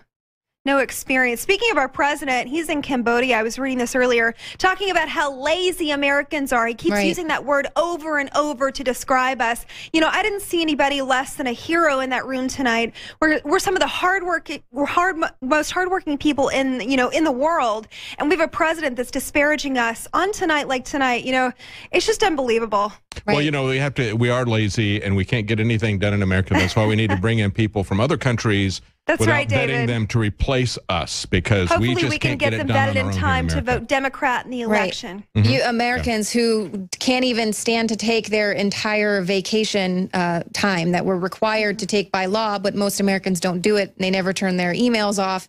We're totally overworked. I mean, at least we don't have the suicide nets out like China, but Well, Clinton wants But to hey, I rebuild bet he read some Detroit with good Syrians, books, though. so- You know. yeah. Well, it's I guess it's because Obama says we're lazy, so we got to rebuild Detroit with Syrians because Americans are just uninterested in that. capable of whores. Bill Clinton said that. And I wanted Well, Yeah. We've gone about an hour and 10 minutes. I want to take a quick break here. And when we come back, we'll take some calls from our uh, listeners. And again, I'll give that number out. That's 877 789 2539. 877 789 2539. If you want to comment, if you have any questions for us, uh, comment on what you saw tonight with the first uh, time that Hillary and Donald Trump have been at an event together. Of course, they were not Well, on the stage sort yet. of. This is training wheels for Hillary Clinton.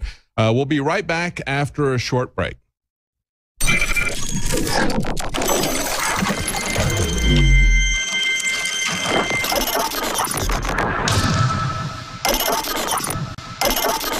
Welcome back to our live nightly news here on this September 7th, 2016. We have a special video that Darrin McBreen and uh, Joe Biggs put together. We're going to let them introduce it, and then we're going to go to some of our callers. I'm very interested to uh, hear what Mike in the UK thinks about this uh, first quasi debate. It's not quite a debate, but uh, get his opinion on it. We got a lot of callers who've already lit up the line. We're going to go to you right after this. But uh, Darrin, Joe, tell us about your video. Well, first of all, I just want to say Rachel Maddow in the post debate coverage, she has declared Hillary the undisputed champ. of- Really? Of, that. Oh, What a surprise. I just was uh, totally blew me away. I was not expecting that. But no, I wanted to talk to Biggs because he just had.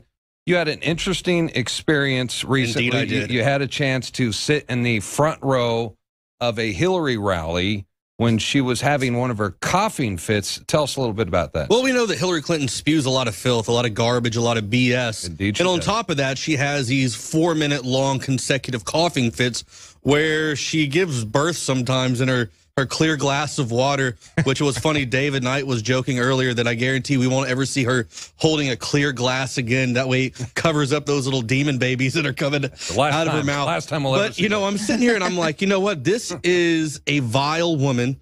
She's hawking up all over the place. I wonder what it would be like to sit in the front row of one of these events. And if I did, what kind of proper precaution should I take? Always come prepared. So I took the suit that I got during the Ebola craze, and uh, let's take a look at that video and see how things turned out.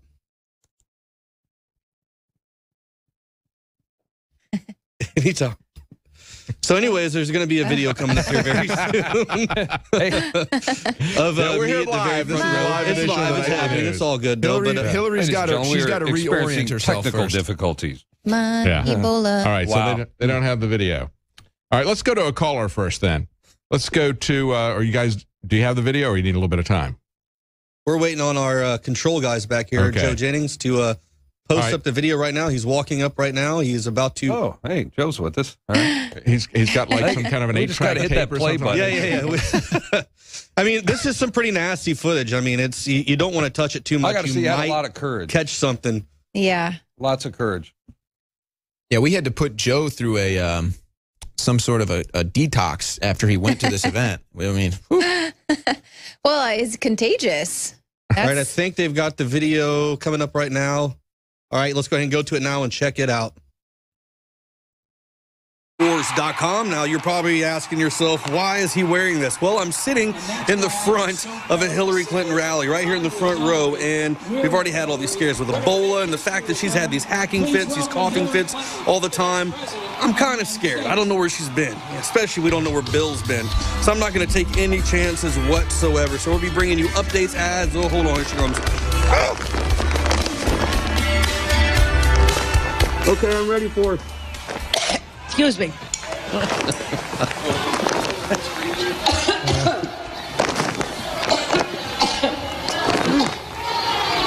Come on. I've been talking so. I know she coughs like. Cover your mouth, lady. Here they come. Ugh. What is that? Uh, it's not Those are little reptilian babies. Those are her predecessors. Whew. What a rally.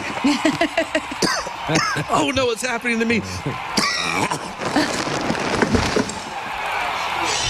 Uh, There it is. Will Hillary. I saw someone had a Russians. meme up, and her her H was the last letter in the word cough. So I think we need to start By the putting way, that, that was there. Walker Andrews, by the way. Yeah. Forwards Walker Andrews that helped put that together. Uh, good job, very Walker. And it's on Facebook right now on the Alex Jones uh, Facebook page. So check it out and share it with everyone. I think everyone everyone's going to get a kick out of that. That's great. All right, let's go to our caller. We got uh, let's go to Mike in the UK. Uh, Mike, what do you think about our uh, feeble attempt at a debate here in the U.S.? They Oh, didn't hi, even David. Thanks for taking my call. Um, that was not a debate. No. There was no challenge to Hillary. It was um, all softball questions and of, of what I was able to see and hear. It it was it wasn't a debate. It's it's a another fraud. Yeah, yeah. Uh, the the board said that you had some comment to make about uh, the emails. Yeah. Well, get, if I can make a couple others first. Sure. Um, Trump was asked about his experience, and they always want to try. Well, what experience do you have? As if Hillary has any good experience to talk about. All hers is Right. negative. So what Exactly. a cheek. Yeah, Exactly. yeah, absolutely. Everything she has to offer experience wise is the reason why Trump needs to get in office because she created the problems. Exactly. Mhm. hmm Absolutely. And that's a, at least the experience he has is a billion dollar empire built on yeah, his name alone. fixing alone. problems Really. under budget. yeah, Right. yeah. Um, there's another issue that, um, you know, the term conspiracy theory. This is all preparatory for everything else. Conspiracy theory is a logical fallacy. It's an ad hominem attack Yes. that is designed to discredit a person or an argument without having to address the issues. Any, or anything And of course, it was designed by the FBI for that very purpose. When people said, "Wait a minute, I don't believe the official story, the official cons- uh, well, it wasn't a conspiracy because they had a lone a lone shooter. We don't believe the JFK assassination story, the magic bullet, and all this other stuff. We got eyewitnesses who uh, contradict that. We got a video that contradicts that, and they said, "Oh, those are conspiracy theories because you think there's more than one shooter." And they have used that now. Uh, unbelievable how that has ramped up in the last year. So if you question anything the government says, you're a conspiracy theorist, no matter how ridiculous their theories are. Well, yeah, and they they're the ones the conspiracy theories. But what needs to happen is the public needs to be uh, educated what this actually means. That anytime someone says that, it means that you you're throwing a rock and the dog's the one that barks is or yelps is the one that got hit. They don't have an argument. That- They're admitting when they say, "Oh, conspiracy theory," they don't have an argument. Yes. Mm-hmm. Yes. Well, and this is what I love about it. It's like, well, what are your theories? You know, I'm trying to figure out what the hell's going on here. We got we got some messed up stuff going on in the world. What are your theories? You got any conspiracy theories? We know there's conspiracies. Why can't I provide a theory? And then when I back it up with facts and information, they just call me a racist or something. So Yep. the whole conspiracy theory again. term. And they're Yeah. the ones pushing out the conspiracy theories about Russia, even though, without any proof. Wait, hold on. Is Putin in our ear telling us what to do right now? Oh, yes, hold on, oh, I'm getting oh, oh, my- okay. Yeah. That's right. The Russians are behind KGB. everything now. Yeah, it's the uh, Hillary Un-American Activities Committee. Yeah. As far as the SCI, um, I I was a Russian linguist for the military, and so I have a special interest in what's going on with the whole Russia thing. And I think it's it's deplorable, and it's um, he's just a, a whipping post for their their purposes. Um, he appears to be a statesman among rogues, and I'm being kind to, to say that. But when I saw one of the SCI emails um, that Clinton had, um, it became extremely personal because it, basic just that one email alone, and there was multiple of these things. Just that one is incalculable damage. Yes. Unimaginable, and people don't understand what SCI is and what goes through, what what has to happen to get this type of information. Well, explain that to us as somebody who's who's done that, who's who's Well, been in the service. SCI material is especially compartment. I can't really say too much other than just the kind of the general headlines you get off of WikiLeaks any, or um, Wikipedia or anything like that. But SCI is specially compart- compartmented information. So the left hand doesn't know what the right hand's doing. Mhm. You understand? Yeah. Right. And so when you release this type of information, um, w- was there a story or something like that that someone released in a paper Bin Laden's um, sat phone number? Uh, I'm not Not aware sure of about that. that. Yeah. Yeah, I'm not aware That of that. I do know that Judge ago. Napolitano said that uh, he had been contacted by many people uh, that were intelligence, said that they believed that information that had been released uh, via Hillary Clinton's uh, extreme carelessness, if we want to use the word, uh, that, Recklessness. that- yeah, recklessness, that that had resulted in lost lives, and that there were a lot of people in the intelligence community that believed that their lives were going to be at risk if we had a President Hillary Clinton. Mhm. And uh, I, I think that that is uh, a reality. We've had multiple people say that. We've Like had, the uh, scientists uh, beheaded in Iran, right? If Yeah. Spy. that's right. In her Right. emails. Well, be, plus a good part of the populations of the world when she stampedes us into World War III. But the example I was going to use, and this is from years and years and years ago, and this was read in the paper, that someone had released, they said, they mentioned that, oh, they had bin Laden's sat phone number. And guess what happened? He stopped using that sat phone. Mm-hmm. And guess what happened to the, all the stream of information that was available? It stopped being received. Yes. This is the level of, this is how this type of information can cause damage. And I say incalculable because you just don't know what you don't know. Not to quote any previous politicians. Yeah, yeah. but um, Yeah, Rumsfeld. the- Hey, you you know, what- the, the other thing, too, is when we look at this and she says, well, you know, the C and everything, I don't know what the C meant. Uh, you know, I didn't have any training, even though I signed it. Yeah, exactly. Everybody knows that's ridiculous. And we just had a, a sailor who took, uh, a, a- you know, three or four photos in a submarine, and that was nothing above the level of confidential, which is the lowest level of clearance. It really doesn't take much to get confidential clearance, but there is a clearance involved in that, and that is a, a you know a violation of the law. They sent him to jail.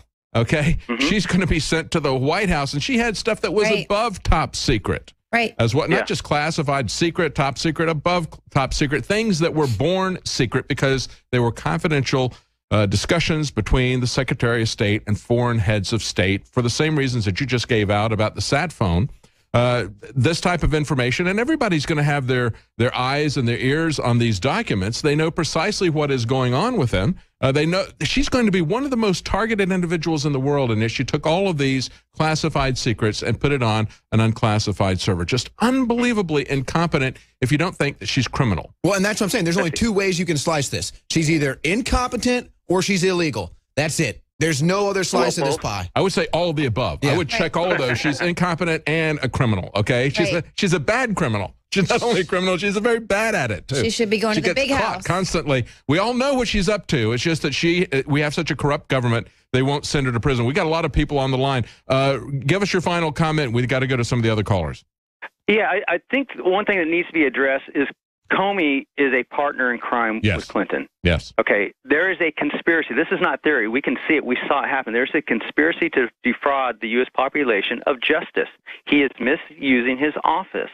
And it's not the first time. As I pointed out at the beginning of the program, he was there when the Sandy Berger destruction of documents happened and got away with it. He was running interference for them. He has a lot of ties. He and Loretta Lynch and Cheryl Mills. I mean, they're doing the Clinton's tax returns. He was on the board of directors of, of HSBC. I mean, he, he's got a long, long history here. Uh, we know where he's coming from. I need to go on to some other callers. Thank you, uh, Mike. Uh, let's go to uh. Joni. Thank you. Let's go to Joni in Southlake, Texas. Go ahead, Joni. I think she's gone, maybe. Let's go to uh, Jacob in Wisconsin. Go ahead, Jacob. Hey, David, uh, real fan of your show. Uh, thank, Thank you, you. for all your staff. And uh, I just want to talk about uh, how to solve the Fed problem, you know, because I like to try and figure out how, how we can fix this, you know. Mm-hmm. Go ahead. So the Fed basically control all the banks. They control the economy basically based off the Fed interest rate. And Solve also the they problem control the industrial more like abolish it. Abolish yeah, the exactly. Just like Rand Paul audit the Fed. By the way, I don't. Ted Cruz really disappointed me when he didn't go to audit the Fed. Mm-hmm. But uh, yeah. So I Well, you know, just uh, uh, just a couple of hours ago, uh, Ron Paul was, uh, I think he was on Fox News, and he was talking about how uh, Trump wants to audit the Fed. He, s- he said he thinks that's a good thing. And then he had an interesting quote, I thought, uh, from Ron Paul. He said, The secret society loves Hillary.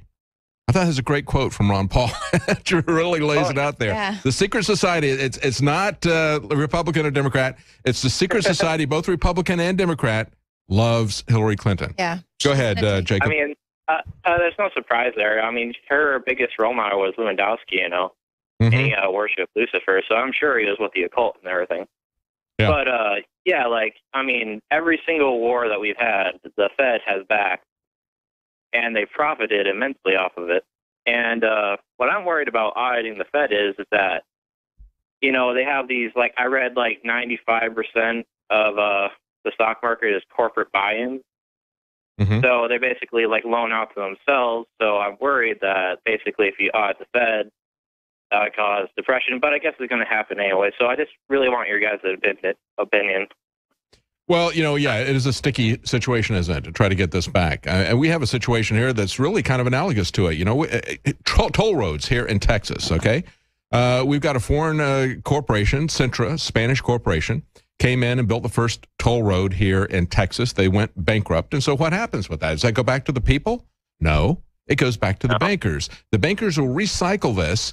They will. The people who are going to take a big hit are not Texas state taxpayers, but it's going to be federal taxpayers who underwrote this with a federal loan. So that federal loan is, is where they're going to take the big hit. And then those bankers are going to be made whole just like they were with the crony capitalism with the private public partnership of Freddie Mae and Fannie, you know, Freddie uh, Mac and Fannie Mae, okay?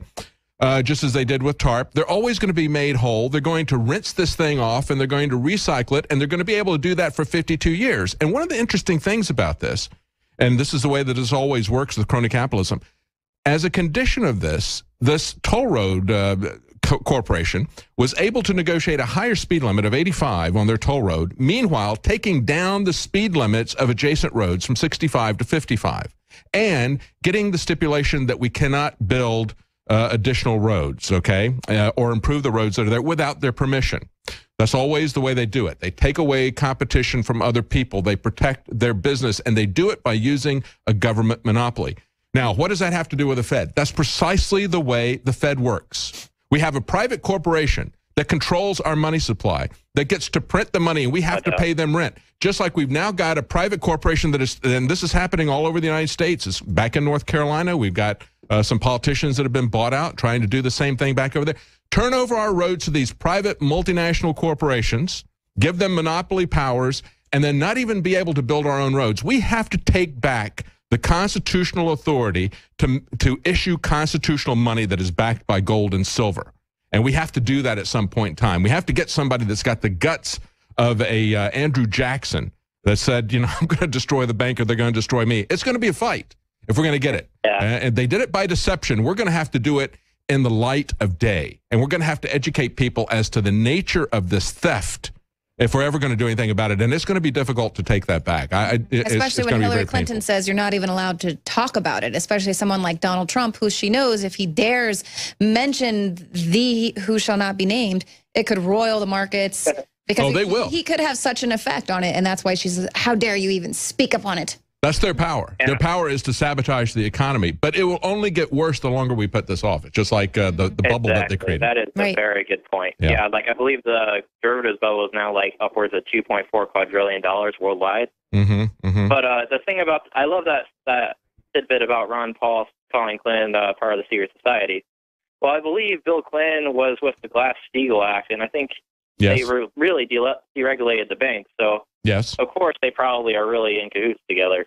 Oh yeah, yeah, exactly. They uh, they they took away that restriction that was put on them that said they could not get into speculative investment because they were given special favors. They were given a federal deposit insurance. Okay, so because of that, they said, all right, we're not going to let you participate in speculative stuff. They took that off, and we saw what happened. Democrats and Republicans at the grassroots level understand uh, the problem with removing Glass Steagall. But of course, the people at the top of both of those parties uh, who are now opposing Donald Trump want to uh, uh, keep that off. Donald Trump wants to reinstate that. He wants to audit the Fed. That's a good start. He understands what the problem is. So the question is, will he stay true to it? I, I think he will. He's taken a lot of hit. And certainly, uh, even though he's taken all these hits, he's continuing down this path. And the people who have set up this corrupt system hate him intensely.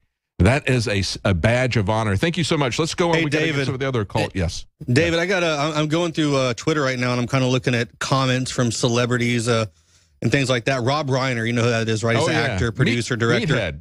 Yeah. Yeah. yeah, He just tweeted this out, and I think this is the most hilarious thing. And I tweeted him back. It says, "Watching Donald Trump spew his lies and never answer any questions, and Matt Lauer never holding him accountable for anything was sickening." And I was like, "Excuse me, uh, don't you mean Hillary?"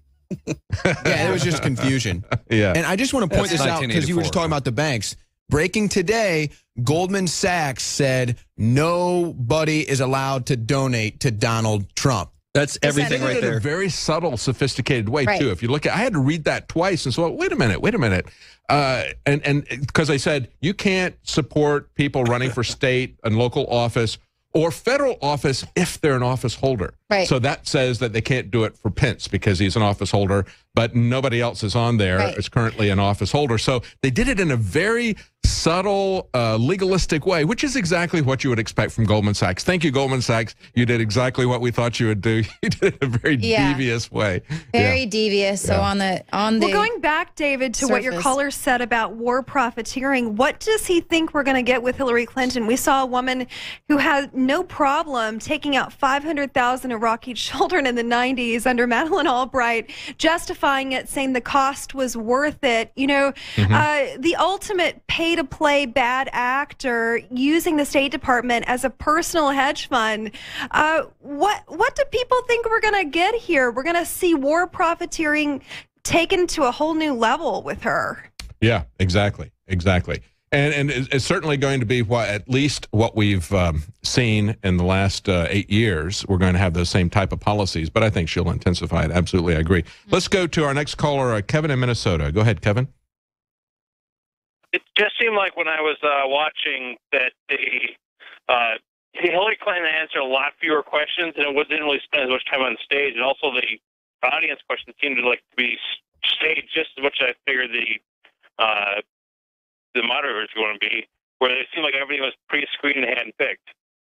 Yeah. Well, we know, I mean, we know who works with the media to rig United States politics, and the Clintons are involved in that. So I'm not surprised. I don't think anybody on our panel is surprised that this debate was weighed heavily in the favor of Hillary Clinton, just like the rest of the debates are going to be weighed in the favor of Hillary Clinton. But you know what I think, and, and I'd like to hear the rest of the panel's thoughts on this. It is really having a reverse effect. United States citizens do not trust the mainstream media. So the mm-hmm. more they see the mainstream media coming after Donald Trump, I think the more they're going to want to gravitate towards Donald Trump because they're already removing themselves from the mainstream media paradigm. They're already removing themselves from the brainwashing media. And now that they're seeing the media going after Trump, all of a sudden they're kind of just naturally gravitating towards Trump, whether they like it or not. They've seen, if they're Democrats, they've seen this type of corruption and, and for Hillary with the Bernie, okay, with the super delegates. They've seen how the mainstream media protected her and uh, the corruption there. If the Republicans, they've seen the Republicans promise and promise and promise and then do exactly the opposite when they get elected. So that's what's really behind the support of Donald Trump. We know who these people are. Right, And the we're willing to take society. that chance. Yeah, yeah, exactly. Yeah, Secret let's- society supports Let's uh, Hillary. let's flip a coin that's not a one-sided coin, which would be Right. Hillary Clinton. That's right. That's right. Uh, anything else? Go ahead.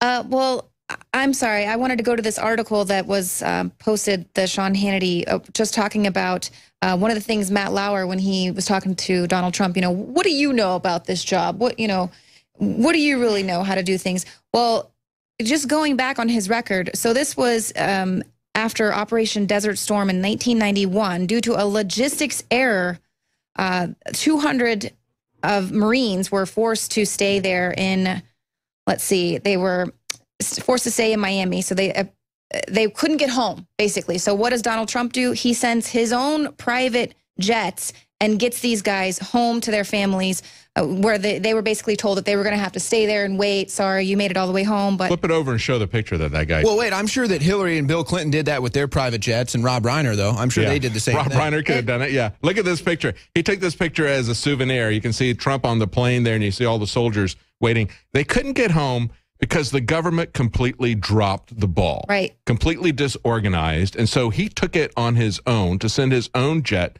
to get these guys home. made two trips to get them all home from North Carolina to Miami, transported over 200 Gulf War Marines back home. Um, you know, and he did this in, the 90s, right? And so this is this is what I foresee with Donald Trump, and I think that's why the secret society and the government they're probably shaking in their boots. Obama, the IRS, they're probably talking to all their employees saying, "You're all going to be out of a job if Donald Trump gets in because he's going to." He's going to cut the fat, basically. And that's Well- what he does. He sees here, you guys are messed up. I'm going to send my own plane and get these guys home. Screw that. And I think that this illustrates the human touch or, or the roots that Donald Trump still has with everyday Americans like us, where these other politicians, they're so removed from our way of life. They're so removed from the average American's way. Hillary Clinton doesn't even have a clue what it's like to live in America in the 21st century. She's so far removed. But Donald Trump has always kept those roots. Oh, even come though on, he's a Owen. Billionaire. was- Oh, and not only that, but we saw him on the ground in out White House. Louisiana. Where he was helping tens of go- thousands of people, you know, giving out diapers, baby food, clothing. Digging Where ditches. was Hillary Clinton? Was she in the Hamptons or Yeah, charging was- another Yeah. seven Having hundred brain surgery, dollars taking for a nap? speech? Yeah, she was raising money with She all of her rich friends. She said, I stand between you and the apocalypse. Yeah. Rich people, you need to elect me or you're going to have to go to your little safe rooms that you're building in your mansions. I stand between you and civil Meanwhile, unrest. we see Well, women she- nursing she knows what it's like babies to be in down and flood boats, she got out of the and uh, that was one of the most presidential acts I, I've seen in quite some time. Are you talking about when he went to Mexico? I'm sorry, we didn't hear you. When he went to Louisiana Oh, okay. and uh, helped around 19,000 flood victims with just the most basic necessities that they lost. Help with their uh, flood insurance, right? For And you those know- people that And It speaks to the character of the man, just like Well- uh, helping out military that were stranded in Miami. And they say, oh, Donald Trump is exploiting these things when we know it's the globalists who love to create power from chaos. But I think that the story that you just covered, Leanne, illustrates he was doing this before he was a presidential candidate. Right. He just genuinely cares about people. Right. He knows he has a well, just abundance of wealth and he can help. Right. And it's like, Hillary, what have you done for the veterans? And then she's listing off all this stuff. Oh, well, I went and raised money with this guy and I helped this guy raise money. Here's Donald Trump. Someone didn't- else's money. He didn't have any stake in the game here. He, he just was like, you know what? Screw that. We're going to get these guys home. They went and fought for us, for our country, for our freedoms. And now you're telling them that they can't get home to see their families? And that's Not only that, Ryan but how many Stigney. vets did you kill Stigney. because of your ill-advised policies? Mm-hmm. Yeah, let's go back to uh, Kevin in Minnesota. Kevin, you you want a final comment before we go on to another caller? Go ahead. like bashing on uh, Trump about being friendly with our world leaders. I mean, look at some of the people Hillary Clinton is associated with the Clinton Foundation. Yeah, I mean, You have like war criminals and whatnot that should be tried in the Hague and whatnot. It's just like horrific that they're Yeah. basically comparing. Oh, I'm I'm going to accept a compliment, but she can basically do whatever and have all these associations and and no, it, somehow all this money that she takes does not affect her decision. I mean, you Great point. Yeah. Why? Why isn't all the money she takes from the Saudis? Why isn't that an issue? Because you know they beheaded more people last year than ISIS did. Okay, but she takes uh, tens of millions from these people. Uh, they brag about how much money they give her. Why? Why is that okay? And uh, Donald Trump can't even take a compliment Well, this is Putin? I the mean, this is the mainstream Yeah, media blinders, good though. point. The mainstream media doesn't want you to know about Saudi Arabia. They don't want you to know about any of Hillary's past. The mainstream media puts the blinders on you. Infowars.com removes the blinders, and that's why people are coming here for real information. Well, think about it. What we've learned with the 28 pages in Saudi Arabia, and there's still no uproar on that. I mean, are you kidding me? Basically saying that. I Are you mean, and that's kidding me? just that's just one level of the cover up. But at least that that is huge, and they are sitting there bragging about how they're funding the election for someone who is running to be president of this country. You guys seem, seem to be really attacking Hillary Clinton. And don't forget, Matt Lauer asked Trump earlier to keep your attacks at a minimum. yeah, hey, It's take it Don't easy on attack I, Hillary. Hillary. I don't know, man. I She's a think- fragile That's exactly bird. right, Sweet Darrin. little old grandma. Actually, I want to jump in. Uh, If you get on the Twitter, right now and actually look at all the things that are tw- uh, trending, Mm-hmm. it's Hillary Clinton, it's the Iraq War, it's this and that. Nothing about Donald Trump. And you Twitter's know what else is trending, down that. Joe? But everything that's up Joe there has is a a diss towards in. Donald Trump, though, without naming him and the actual thing to get people like in the alt right involved in the conversation. It's all hit pieces. That's all Twitter is right now. And you know what else is course. actually That's trending right now on Twitter? I want to let you guys know, Ashley Beckford here. Uh, right now on Twitter, what actually is trending is Rat Lauer. uh, Mike Cernovich tweeted, uh, tweeted uh, tonight's trending hashtag is Rat Lauer. I just want to read some of the tweets uh, here from the general American public, the voting public here. Uh, not one question to hacking Hillary that showed Rat Lauer has something that resembles resembles a journalistic instinct. Uh, they're saying that. Matt Lauer should have called out Hillary's BS when she claimed that none of her emails were classified, but someone replied that would require him to ha- to be a real journalist instead of a hack slash shill for Hillary, and that's too much to ask. You know, I got a couple of callers. Yeah, go ahead and finish. okay. that. I've got a couple of callers who've called in about Matt or Rat Lauer too. Okay, great. We'll go to them in a minute. Go ahead, finish uh, what you've got there. Oh yes, another one is uh, Hillary's mishandling of classified documents means means one of three things: one, she's incompetent; two, she's stupid; or three, she doesn't give a crap. right. None of those they, are good They options. went on the to say that yeah. Rat Lauer injected himself into the discussion to defend Hillary, and that shouldn't have happened. And he was much more adversarial to Trump than Mm-hmm. Hillary. Uh, Cernovich said that tonight's biggest winners were the American people because we actually saw media hoaxing live, and there's no way to actually deny that bias now. And this is the reverse reaction where now it's obvious to see who the globalist run media members are. It's obvious to see who the bought and paid for media members are. It's obvious to see that Matt Lauer is not a real journalist. He's bought and paid for, he's blackmailed, whatever it is. So this is like a reverse effect that we're having with the Trump campaign where all the media that comes out and bashes Trump in unfounded waters, unfounded grounds, we know that you're just a total fraud, Rat Lauer. You're Rat Lauer now. Congratulations, Rat Lauer. Good job. Exactly, and That's he didn't They're have to saying he should be disclose any. He didn't have to disclose any of his uh, ties there with the Clinton Foundation or the Clinton Global Initiative. Just like Jorge Ramos, what is he, uh, Univision or something? He doesn't have to. Uh, Put out there his ties to the Clinton Foundation, and that his daughter is actually helping with her campaign, uh, big time contributor. That his boss, that he actually works for, is one of the main contributors to her Jorge, campaign. Jorge helped with Trump. Totally. Jorge came out and said uh, he made the uh, Mexican president look like an idiot. I mean, you couldn't really help Trump any better than that. Thank you, Jorge. Uh, let's go to uh, Bart in Columbus, Georgia. You wanted to talk about Rat Lauer. Go ahead.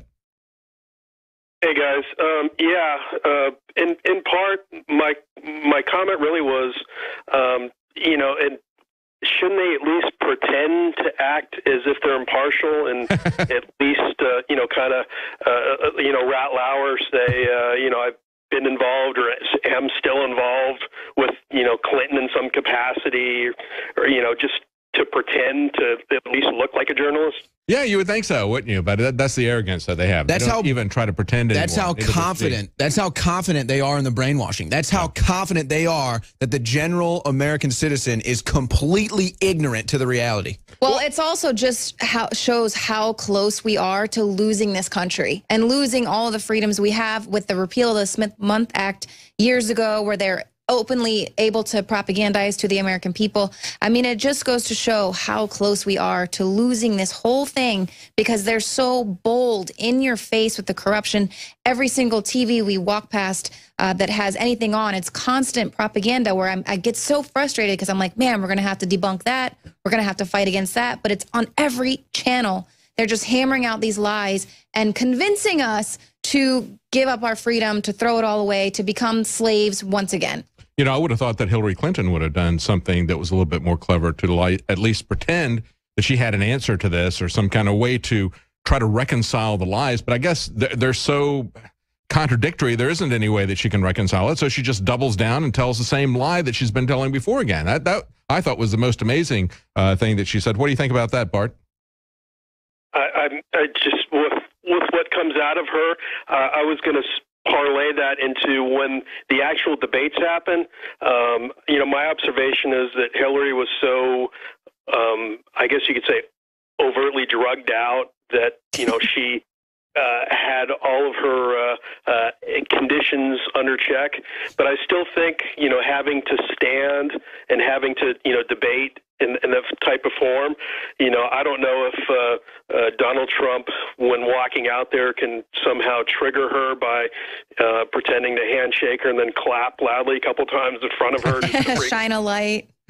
yeah, Maybe drop some balloons from the like ceiling or something and uh, space her out. I, I don't know. you know, Hey, you know who she that looked? mysterious guy run out with his uh, little, uh, you know, shot pin there, and Mhm. Yeah. but.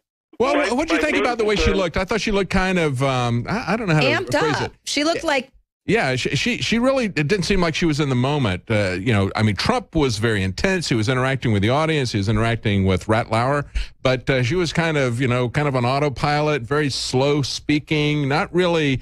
Uh, you know, very, very alert. I, I think she's going to have a really hard time in a debate with Donald Trump. Well, let's not forget she, she her last speech was what Sunday, so she's had a, a some Yeah. bed rest, some Yeah. days of bed rest. so she didn't have any anything going on. She was able to get rested up and then get her little shot of ephedrine or whatever she was on. Keep her head elevated. yeah, doubled up on her meds. Thanks, Bart. I'm going to move on to uh, Dave and Montana because we've got a lot of callers still on the line. We're starting to run out of time. Uh, Dave and Montana, your comments on tonight and uh, Rat Lauer. Hey, I'm right here, guys. You can hear me? Yes. Go ahead. Yeah, that's good. Hey, I just want to thank you all. I've been a long-time listener, first-time caller. Well, thank you for that. what- Hey, uh, Dave, I was in Vegas when you were doing uh, the Bundys. Mm-hmm. Almost got on my motorcycle, strapped up, go to gun, right? Yeah.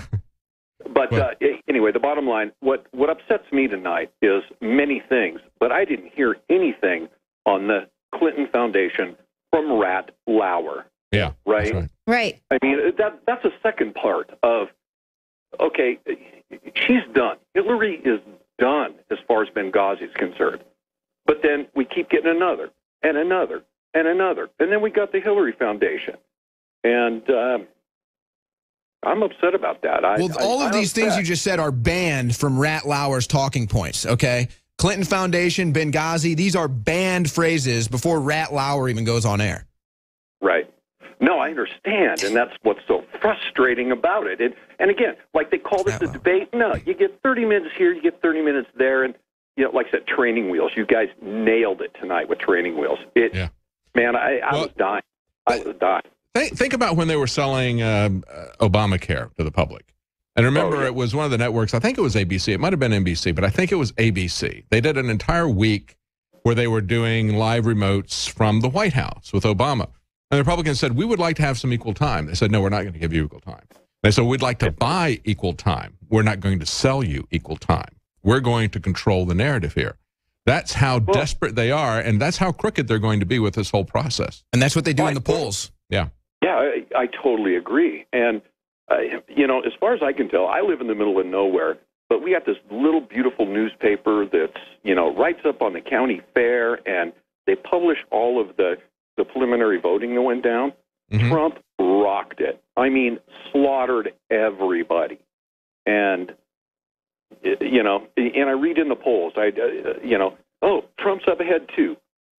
I I can't say what I was going to say, but bull crap. You know, Yeah. uh, you know, I'm sorry. I, Trump is farther ahead than that. Well, you I don't. think let me just say, when he's talking about being up by two, you don't hear anybody talking about how Hillary has collapsed, Mm-hmm. how she's got to go. Maybe they need to pick another candidate. All the stuff that we heard before. She had the supposed 15 point lead by their metrics, okay? And and then all that has disappeared, and she's now down by two. And yet, where is the the press that was uh, uh, pouring all this uh, scorn on Trump and saying he's a loser, he's got to get out, and you know, for the good of the Republican Party, take this guy out. They're not saying that about Hillary. She lost more than uh, she was ahead of him now. Well, excuse me, Hillary did not show up in Louisiana, right? Mm-hmm. Uh, uh, again, Bar- Obama barely did after his golf game, Mm-hmm. right?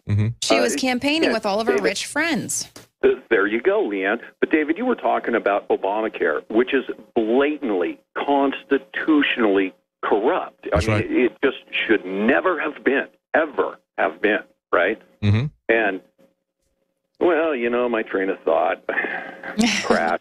Five dead. News at eleven. You know. Mm-hmm. Uh, it, but anyway, Yeah, absolutely. I, I understand what you're saying, and it, it's so much of a cluster. You know what? That I, Mm-hmm. I sit here in my little house behind all my computers and doing my thing and paying attention because I'm old enough to pay attention now. When you know who's it? Mark Dice that goes out on the pier on Venice Beach and asks these kids. Mm-hmm.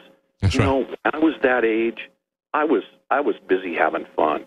And when I got a little bit older than that, I was busy raising kids, right? Mm-hmm. And doing my job and paying my rent, paying the electricity.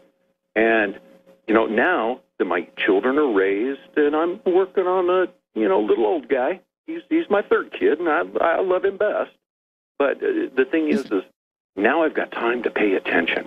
You know, how come, how come Mark Dice can't come find me in the middle of nowhere, Montana? Well, you won't be, as entertain- entertaining, Dave. Thanks, Leanne. Thanks, Leanne. Well, I, I, you know, I try to do my best, but uh, the thing is, is I understand it, and and the youth of America, yeah, of course, they're being indoctrinated by, uh, you know, government schooling, high schools, and Well, I understand what you're saying, Dave, and and that's the problem that we have with everybody. Everybody is busy trying to exist, and the harder things get for us, the harder we have to work just to to keep above water. Okay, Right. So we don't have time to look at the politics of it. But look at Obamacare that you're talking about. Look at the exploding healthcare costs that people have now in just a couple of years because of this. That is the consequence of this. You may not be interested in politics, but politics is interested in you. Okay. And that's what a lot of people are starting to wake up to. And it also helps by the fact that we have uh, a freer media situation than we used to have before. It used to be the only information you could get was from the Matt Lauers of this world. And they can completely control the information that you got. And now that has changed. We need to go to uh, some of our callers before we run out of time. Uh, thank you, Dave. Let's go to uh, Roger in Florida. Go ahead, Roger. Uh, thank you guys. Um, basically family. So, um, well, basically, I wanted to touch upon about the debate was how blatantly obvious it is that they're playing it. I mean, it's simply the fact that you start the debate and you say, "Hey, Donald Trump." Well, what Don't attack Hillary. a debate. Yeah. Don't attack Hillary. and then on top of that, every single time he mentions Hillary's name, he interrupts it. Mm-hmm. It's almost like censorship every single time Donald Trump was talking. So I Right, I- and he I only is blown away by that. attacking his character, his integrity. Uh, you know, what do you know about this? He wasn't Yeah, very condescending towards very Donald. condescending.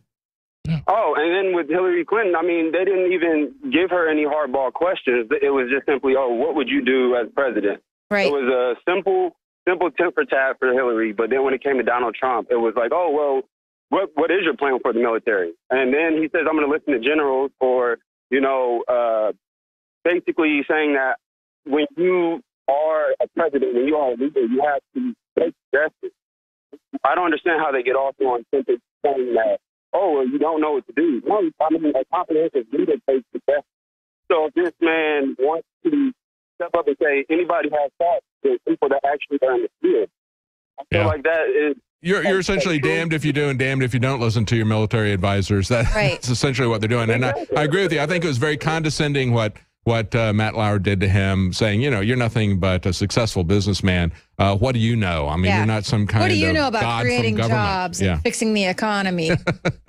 Absolutely amazing. Thank you, Roger. Let's go to uh, Carl in Washington. Carl, go ahead. Go ahead, Carl. Are you there? Talk about the forum setup.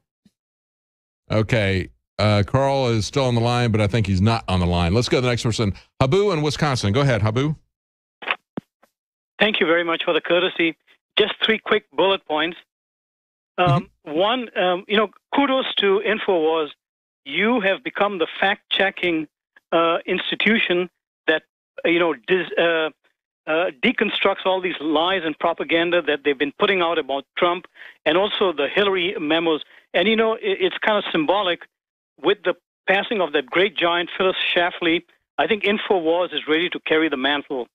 Well, Uh, thank you. That's a, that's a great compliment. Thank you. Yeah, it is. It really, and I mean that. I'm not just saying it. Second, I think um, Matt Lauer should have recused himself, seeing that he has connections to the uh, um, Clinton Foundation. Th- th- this is not a, a, a you know a place where uh, serious matters are discussed by an impartial person presiding. So, so it, it also shows the demise of of of America. I mean, all these values are are being you know are, going down the toilet bowl. And and the third and last thing I want to say is um, that you know th- I hope you follow this person's uh, up. Uh, there's a person called Charles Ortel. He's a CPA in New York City, and he kind of went after GE uh, in its accounting uh, uh, uh, practices, but he has completely deconstructed and analyzed what the Clinton Foundation is all about. And he is making news on this, and he's making great inroads. And if you know you give him a, a forum there, he would um, uh, uh, he, his um, his popularity, not his popularity, but the the cause would would would would increase um, many times. Good. His name is Charles Ortel. Ortel, yes, just Okay. Google that. All right. And and uh, uh, anyway, that's all. And thank you very much. And keep up the good work. Remember, now you're going to be continuing the work of uh, Phyllis Schlafly. Well, thank you. Thank yeah, you that's very a, much. that's a lot to uh, live up to. She was a tireless person uh, standing against the, I guess we'd say the the Equal Rights Amendment uh, de jour. But I think what we got in many respects was the Equal Rights Amendment de facto. They they gradually brought in uh, many of the things uh, that that they were trying to enact by law. But it's important to keep that out of the written law. That at least gives us the legal and moral high ground to oppose this. So her work was very important on that. And that's not the only thing she did. I mean, she was in, involved in uh, many different aspects. And, and Uh, one more gonna be missed. one more quick point on Phyllis Schlafly. You know, we have all of these feminists who talk about you know empowering women and everything. They never talk about Phyllis Schlafly, one of the most empowered women in politics to ever exist. She gets no credence at all from modern day feminists. I just want to point that out. It's a terrible disservice that they completely ignored the work that Phyllis Schlafly did. What an unbelievable woman. Yeah, absolutely. Absolutely. Uh, Darrin and uh, Joe, do you guys want to make any comments? We're going to wrap this up in a couple of minutes. You want to make some final comments? Oh, they're already gone. Okay. Uh, well, I'll ask uh, Owen and Leanne. You want to make any final comments before we wrap this up? Well, I just think that tonight's forum was a very good indication of what we're going to be seeing here in the future with these debates, how it's going to be a lot of softball questions for Clinton, a lot of Zuckerberg and Facebook will be involved. Yes, messing with the yeah. algorithms in real time, setting the whatever the trending topic is going to be on Twitter, of course. Um, so we're going to just sort of see this same type of gotcha questions, the ambush of Donald Trump, um, and attacking his personal character, his integrity, and you know, I just I think it's going to be very interesting um, to, going forward to see how people are waking up to their tactics, to their tricks. Well, think about this dynamic. We have a modern day media that is desperate for ratings, right? I mean, they'll do anything that turns the dial. And we have potentially the hottest debate ever that you could have here between Trump and Clinton. And what do they do? They try to avoid it. Mm-hmm. So think about this the mainstream media, which will exploit anything, run with any false narrative, do anything, race bait, whatever they can do in order to push that dial up, but they won't get Trump and Hillary on the stage at the same time, which I think all of us know would be the top rated event of the year, except maybe other than like the big football games. Right. A Trump Hillary debate would turn the dials for the ratings, doesn't matter what station it's on, at unprecedented levels, but they won't do it. That shows you how protective they are of Hillary. That they would even put aside their agenda to push ratings through the roof just to protect Hillary. That's what you're seeing here. Well, look at how long it's been since she's had a press conference and taken any questions. Okay, it was 270 some odd days. Then they said, all right, well, uh, she's going to let the press get on the plane and roll questions to her with oranges or whatever. Okay, they've asked her softball questions. It's absolutely ridiculous. We started talking about this a couple of weeks ago when it had, it was uh, 260 some odd days it, it had been since she'd had a, a press conference and taken questions from the press as if they would ask her anything of any substance. They're going to only ask her softball questions, but she's afraid even of that. And so she's standing around there and they're clustered around her very timidly, uh, fawning over her. And uh, somebody says something about uh, a, kind of a halfway question. And she is interacting with somebody that's got some chocolates and she doesn't answer to him. She just looks at him and says, Have a chocolate. You know, that's that's the arrogance of this woman. And of course, now they're saying, well, now she's taking questions from the press. It's not a press conference. Right. She's afraid of that. She's afraid of these debates. Uh, her people do not want these debates. They're trying to keep this at three. She was afraid of debating Bernie Sanders. Mm-hmm. Bernie Sanders did not want to come after her. He was handling her with kid gloves. He was the guy who said, I'm sick and tired of hearing about your damn emails, okay? Except that uh, they were conspiring at the time, and he didn't want to confront her on the fact that the Democrat National Committee was conspiring with her against him, that they were rigging this. And of course, we had other people who were in the Democrat Party at the local level, at the college level, saying, We know, back in North Carolina, I talked to a guy, he said, We know that the, the official Democrat Party is sabotaging our events. We find out at about event and they come in and they sabotage it. They tell us the event is off, for example, and then uh, we don't show up uh, representing Bernie Sanders, yet the Hillary Clinton people show up. Dirty politics, dirty tricks like that, just like they played dirty tricks against us using the IRS, using these other institutions. That's the nature of the game. Donald Trump is going to confront her on that. He's not going to let her uh, get away with that. And so that's what's going to be interesting about this. It's going to be interesting to see how this works on the uh, on the debate. And I think I saw a message. Did uh, No, is- that, that was the old one. oh, okay, that's an old one. Okay, And All right. just to expand on that, I think Trump is going to confront these people on all the issues. He's Oh, yes. going to hit them on all the bases. He's going to hit them on the bases, and he's not going to let them get away with this because he's not a politician. Right. He's going to, when he sees an injustice done, when he sees the system being rigged, he's going to call them on it. Right. And that's what he's done all the way through with this. Uh, that, that's what is driving them crazy. That's why they can't handle it. And it is Yeah. going to be amazing when we have the debates finally Right. between Hillary Clinton and Donald Trump. It's really going to be something to see. And I think you kind of hit it there with that they're so worried about protecting her and she is so afraid of getting on that stage next to him because who knows what he's going to say and he is not afraid to hit her where it hurts. She's so afraid of that because her and her husband they've been protected for decades. I'll just say one other thing, too. Besides being very straightforward, very engaged with the moderator and with the audience, I think Donald Trump kept it focused on issues. Mm-hmm. There wasn't any of the stuff that we saw in the debates when there were 17 people that he was doing to uh, single out Jeb Bush and saying he's low energy, that type of thing. We may see that when it gets one on one with Hillary Clinton. But tonight he showed that he was in command of the issues. He was in command of the uh, the personal dynamics there. I think it's going to be very interesting as we move forward here. There's a lot riding on this, folks. Uh, if we cannot, uh, Donald Trump is not perfect. He hasn't talked about uh, civil liberties or the Constitution as much as I would like to hear him talk about. He's taken a position opposite of what I would believe about civil liberties on some issues. But you know what? We have to understand that if we don't keep our country, if we don't keep our form of our Constitution, we're done. We're done. If we lose that, we're done.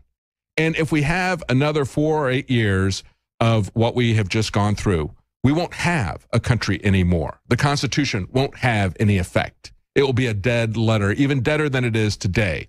And it's going to be far more difficult, far more impossible to try to get that back. That's the key thing. We have to protect our economy and we have to try to even protect the notion of America. That's how desperate things are right now. Right. If we can do that, then we can try to come back again and, and strengthen the Constitution, get our Bill of Rights back. But we have to keep the country. They're going to take the country away if we have a Hillary Clinton.